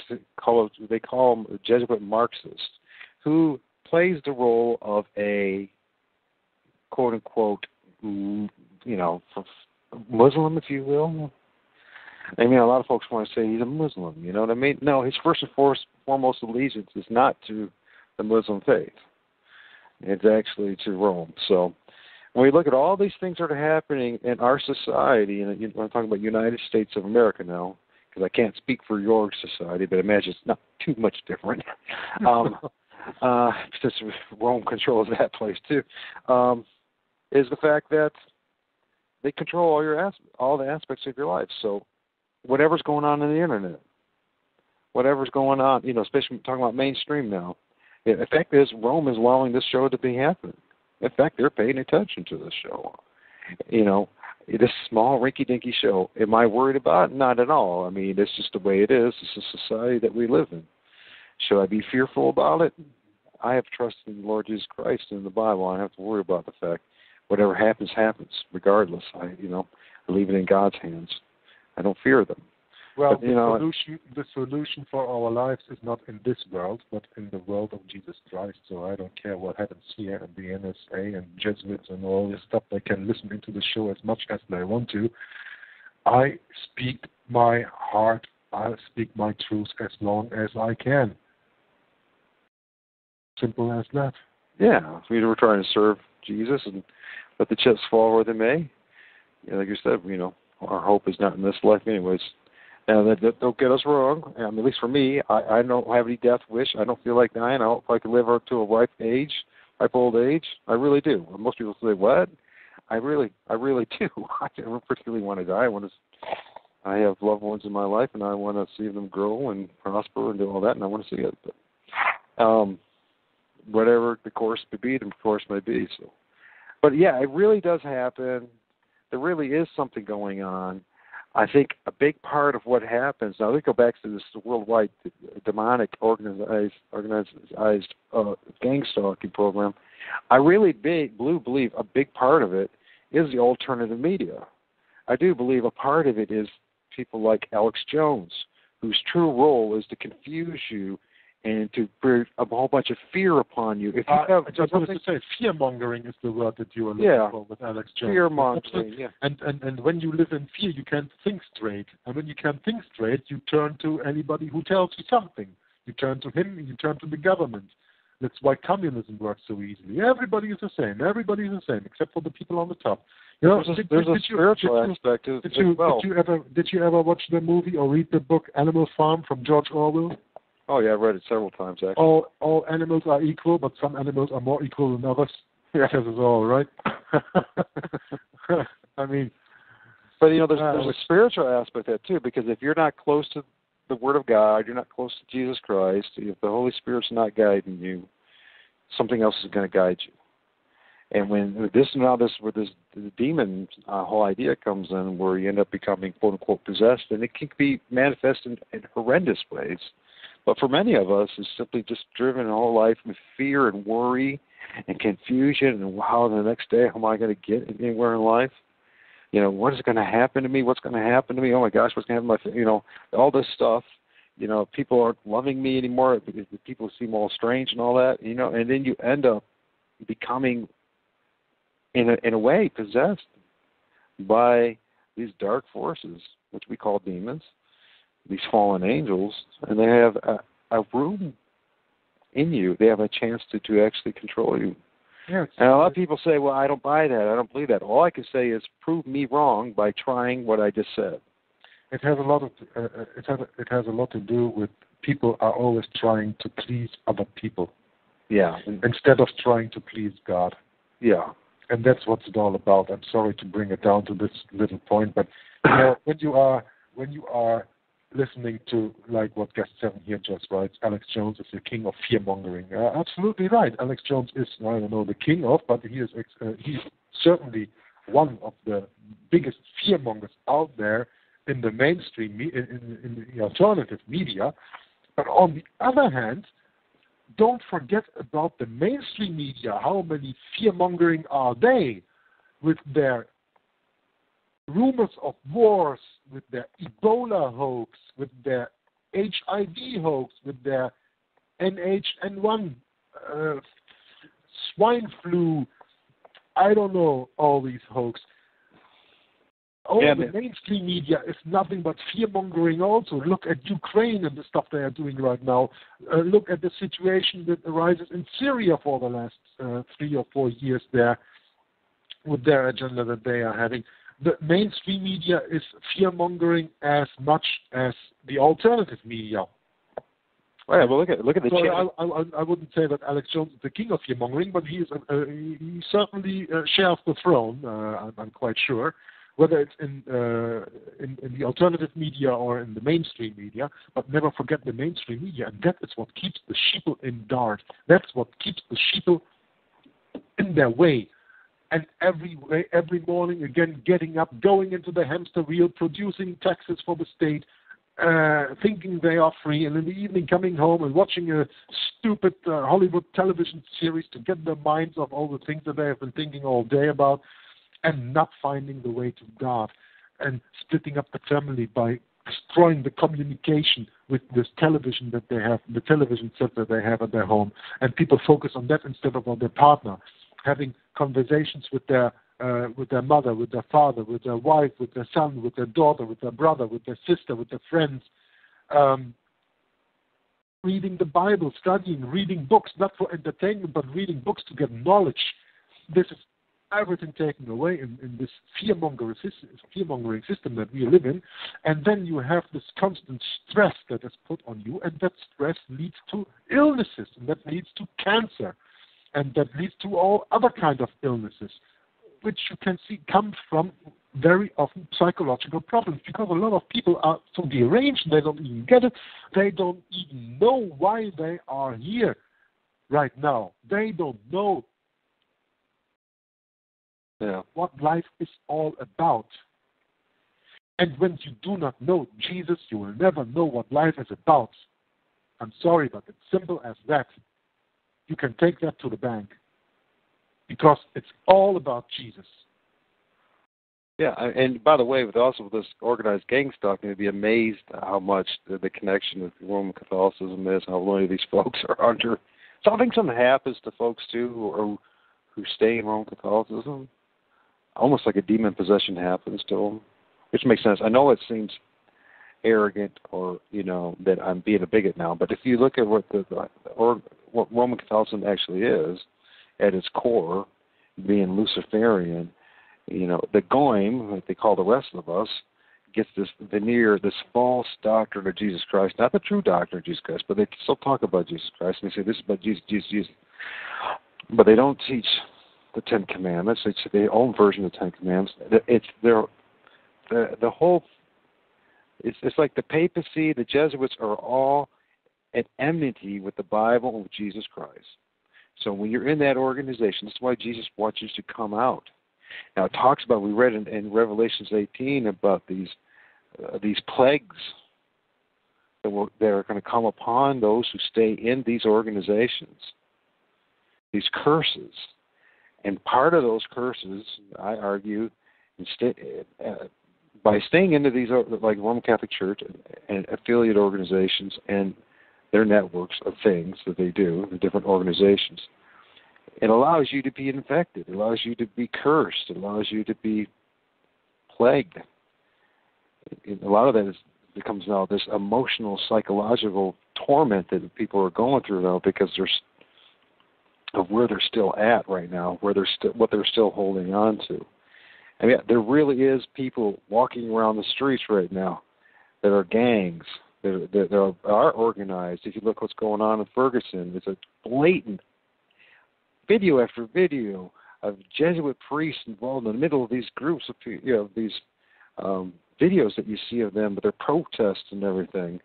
It's all orchestrated. It's all mind control. If you look at the, the television, there's a reason why they call them channels. What channel are you watching? Because when we originally created television, it was a military weapon. that was designed not only for mind control, but when they first were creating it, they were looking into how they could channel, of all things, demon, demon possession, how they could channel to the other side. I know it sounds crazy, but if you do just a little bit of research, you're going to find out that what I just said is true. And you know, what do you do about that? You know, you have to reduce the amount of opportunities for you to be basically mind controlled by this or by, by oh, the Jesuits. So that means you got to turn off the television. You got to turn off the radio that's in your car and all the. You got to turn off all the, you know, the uh, the music. A lot of the music that you're listening to. Yeah, put the And- show on a USB stick and listen to that in the car. yeah, I mean, you know, you know, learn the truth for once, accept it, and, and embrace it. You know, um, because that's where your only defense is going to be. I know it's not a satisfactory answer because it's not in line with what the world says to do. But I can tell you from my own experience, because I've had an experience of myself of this gang stalking thing, and um, I've come to realize that the only answer, the only way, and I'm not being trite here. I'm not just trying to, you know, give you a band-aid to a gaping wound. The, uh, the only thing that worked for me, at least, and it was a lot of prayers, a lot of prayers, and at night, you know, when the crazy stuff started happening, when I closed my eyes, a lot of just praying to the Lord, a lot of the crazy thoughts, putting the Lord first in my in my head, you know, reading, focus, reading the Bible, focusing on the Lord. I'm not asking you to become a religious fanatic. I'm not asking you to do that. What I'm asking you is embrace the way, the truth, and the life. Jesus Christ. Follow your Creator for once. Believe in Him. And how do you believe in Him? You have to have an experience That experience means, and I don't want. I'm talking about experiential Christianity. I'm talking about you have to have a personal relationship. It only happens in these battles that you you you you go under. That putting your trust in Him. And slowly, what happens, at least for me, it didn't happen overnight. It was through time, slowly, slowly, slowly. Those those things have, have, have dissipated. And when I have a rough night or something like that, you know what I do? I can't sleep. I turn on, you know, I listen to something like a program like this, or something that occupies my head and my mind with other than what is out there. Because I strongly believe right now. I mean, if you look at all of me, I don't know where what's like in in Belgium, Jörg, but here, there's a new tower being built every freaking week in my in my area. I mean, every time I go out to go shopping, there's a new tower. You know what I mean? Why do we have so many towers? Well, I don't know about towers, but they are building a lot here in Belgium right now too.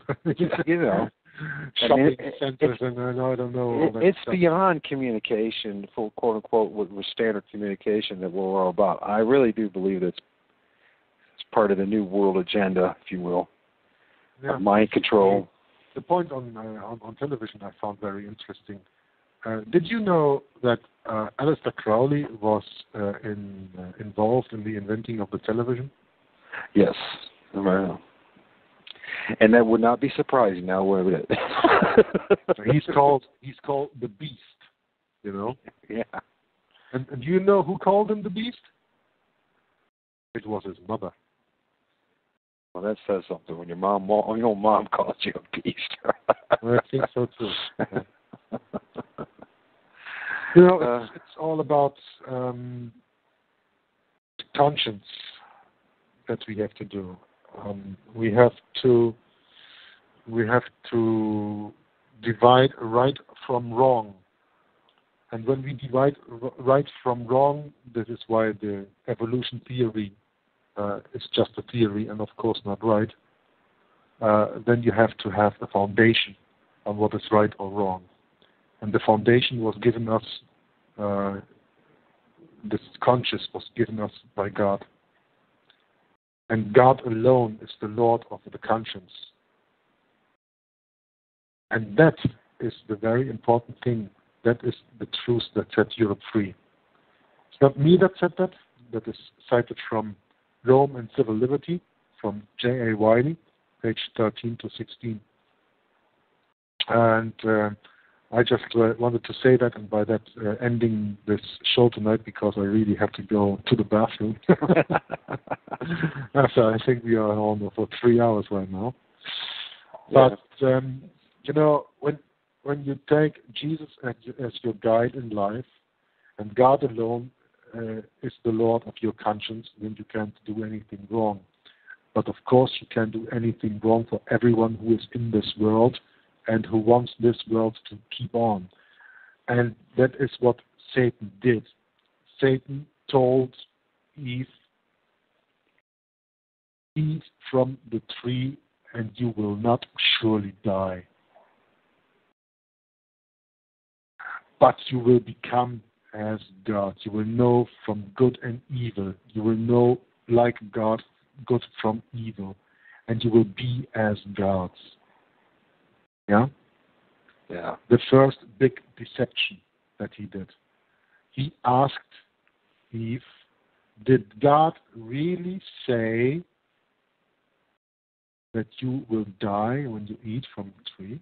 He questioned the word of God. And that's what we have to do every day. We have to question everything we hear, everything we listen to in this world. And we have to measure everything by the truth and the conscience that God gave us. And when you are a true and a, uh, uh, let's say a normal person, yeah, that has a conscience, that doesn't feel good when stepping on a little animal just for fun, or that slaps children just for fun, when you are not that kind of person, well, then you have God in you. And then you have to allow Jesus to come in you and to guide you. And when Jesus comes to you and guides you, you will do no wrong for yourself. You will do a lot of wrong for this world, but you shouldn't care for this world because Jesus is not of this world, and we are just here to put on the test to see if we let the if we let the flesh conquer our minds, or if we try our minds to conquer the flesh and the weaknesses that are given by the flesh. Yeah. Absolutely. And you know, it, you know, we look at this the world that we're in. We really are in the in the uh, last days. I mean, we, there the geoengineering is going on, the fake clouds, the lines in the sky, the uh, what's going on with the towers, what's going on with the, these groups. These groups are walking around the streets and the neighborhoods, you know, with the, their minds whacked out from the music and from the television, from computers. Not only that, they're actually being organized deliberately. You got to ask yourself, who has the capacity to do all this? No little group, no little organization can do this. And people say, well, it's the government. Well, ask yourself who actually runs your government. You come to realize who that really is. That's Rome. And you know, it's it's um, it's not me being a bigot. It's not me being bashing Roman Catholicism because you know what?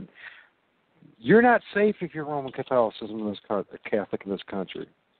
You're no more safe than someone who's not. You're you're just as expendable to, to the leadership of the papacy and of Rome and the Jesuits than anyone else. They're more than willing, and they've demonstrated over and over and over again. Yeah, look at World War II and the number of Roman Catholics that they just sacrificed deliberately. You know, the ends justifies the means. You heard that phrase before. That comes from the Jesuits. The ends justifies the means. They have no problem if they have the opportunity. If, if, if it cost them 20 million Catholics in order to get rid of, you know, you know, 25, 30 million Protestants or whatever it may be, uh, or Muslims. They don't have a problem with it. No, as long as the ends they are, they are the soldiers of Satan, and Satan hates mankind. For Satan, it, it doesn't matter which man dies, as long as man dies. Right. And there's only one organization organization in the world. People say, well, what about the UN? Okay, Rome actually controls and created the UN. Correct, Jörg? Well, we had uh, we had a broadcast on that with Alice Bailey and all that stuff. Yeah, absolutely. Yeah, you know what I mean. So we say the more the more you look into this, the more you realize Rome controls the UN, the EU, the United States, the majority of the world, if not all of it. They're the ones who created communism. You know, they're the ones who created fascism. They're the ones who created all these things that you know of. And it's not an exaggeration on my part. I wish it was. Because I don't get really much joy in this. The only joy I'm going to get in any of this is serving my Lord, and if I help one person come out, come out, my people, then you know what? We've done our job, and there's nothing more. I mean, there's there is no there's no paycheck there's no, you know, accolades. There's no praise for man for what we're doing. And thank goodness, because if it was that case, we probably wouldn't be doing it right. okay, I'm going to finish up here, Michael. I thank you very much for the opportunity to having the show on tonight, and I really enjoyed myself. Uh, I, I I thought there was a little bit of um, uh, progress considering that we had a few guests on tonight, which I really enjoyed, and uh, them yeah. them asking some questions, and we could go into that. I really enjoyed that very much. I hope uh, we will find some downloads, but anyway, uh, I will just finish with the same sentence that you said. Uh, every soul that we can catch uh, instead of the devil, that we can turn to Jesus Christ and to the truth and to the real meaning of life, um, is a soul uh, one and um, therefore, I want to thank our Heavenly Father and His Son, Jesus Christ, for giving us the opportunity to come on this broadcast here tonight. And um, I hope He will bless everyone who is uh, going to listen to this and everybody else, of course, also. And um, I will look forward to the next broadcast that we will be having. And I thought that was for Sunday night at the same time we started and we wanted to address the point that I made uh, in our last broadcast about um, why didn't the Protestants, uh, the Protestant, uh, why didn't the Protestant movement, especially Luther, Right. uh, emphasize uh, the keeping of the Sabbath the way that it should have been uh, done? I don't go into that right now, but that's the next, and we do that Sunday at the same time, right? Yeah, was well yes, this and Tom Fresh will be there, Walt Stickle. I haven't talked to Wayne uh Michaels yet about that, but at least uh the four of us have agreed to I've asked Blaine from Inquisition News if he wanted to join as well. And um probably what I'm gonna end up doing is having you moderate the show if it's all right, because I will be highly distracted Sunday because yeah, that, that, that's all right, but you have to finish the call. Well, yeah, yeah, yeah. I'll, I'll start it. I'll be involved as much as I can, but I got a three-year-old boy running around, so. No, no problem. enjoy, enjoy every second that you have with your child, Michael. Enjoy every second. So, um, to finish up, uh, thank you for listening, everybody who listens here, uh, who was here for the first time, who is downloading that later. I hope you come back and I hope you learned something. You enjoyed yourself like I enjoyed myself, spreading the, uh, yeah, the truth in the name of uh, our Father and Jesus Christ. Um, I thank you all and uh, wish you good night and God bless you. Bye bye. Yeah. Good night, my friend. Bye bye. Everybody else have a good day. And tomorrow night, uh, we've got um, once again uh, Romanism and the Reformation, uh, 10 p.m. Eastern, uh, led by Tom Fress from Inquisition Update. And uh, I will most likely, if I have enough energy this evening, I will do finish up the um, Simon Peter versus Simon the Sorcerer. And hopefully, I, I'm not sure Saturday we're going to have uh, Wayne Michaels on or not, but I have to talk to him about that and see how we're going to arrange that. So, with that, everyone, good night. God bless.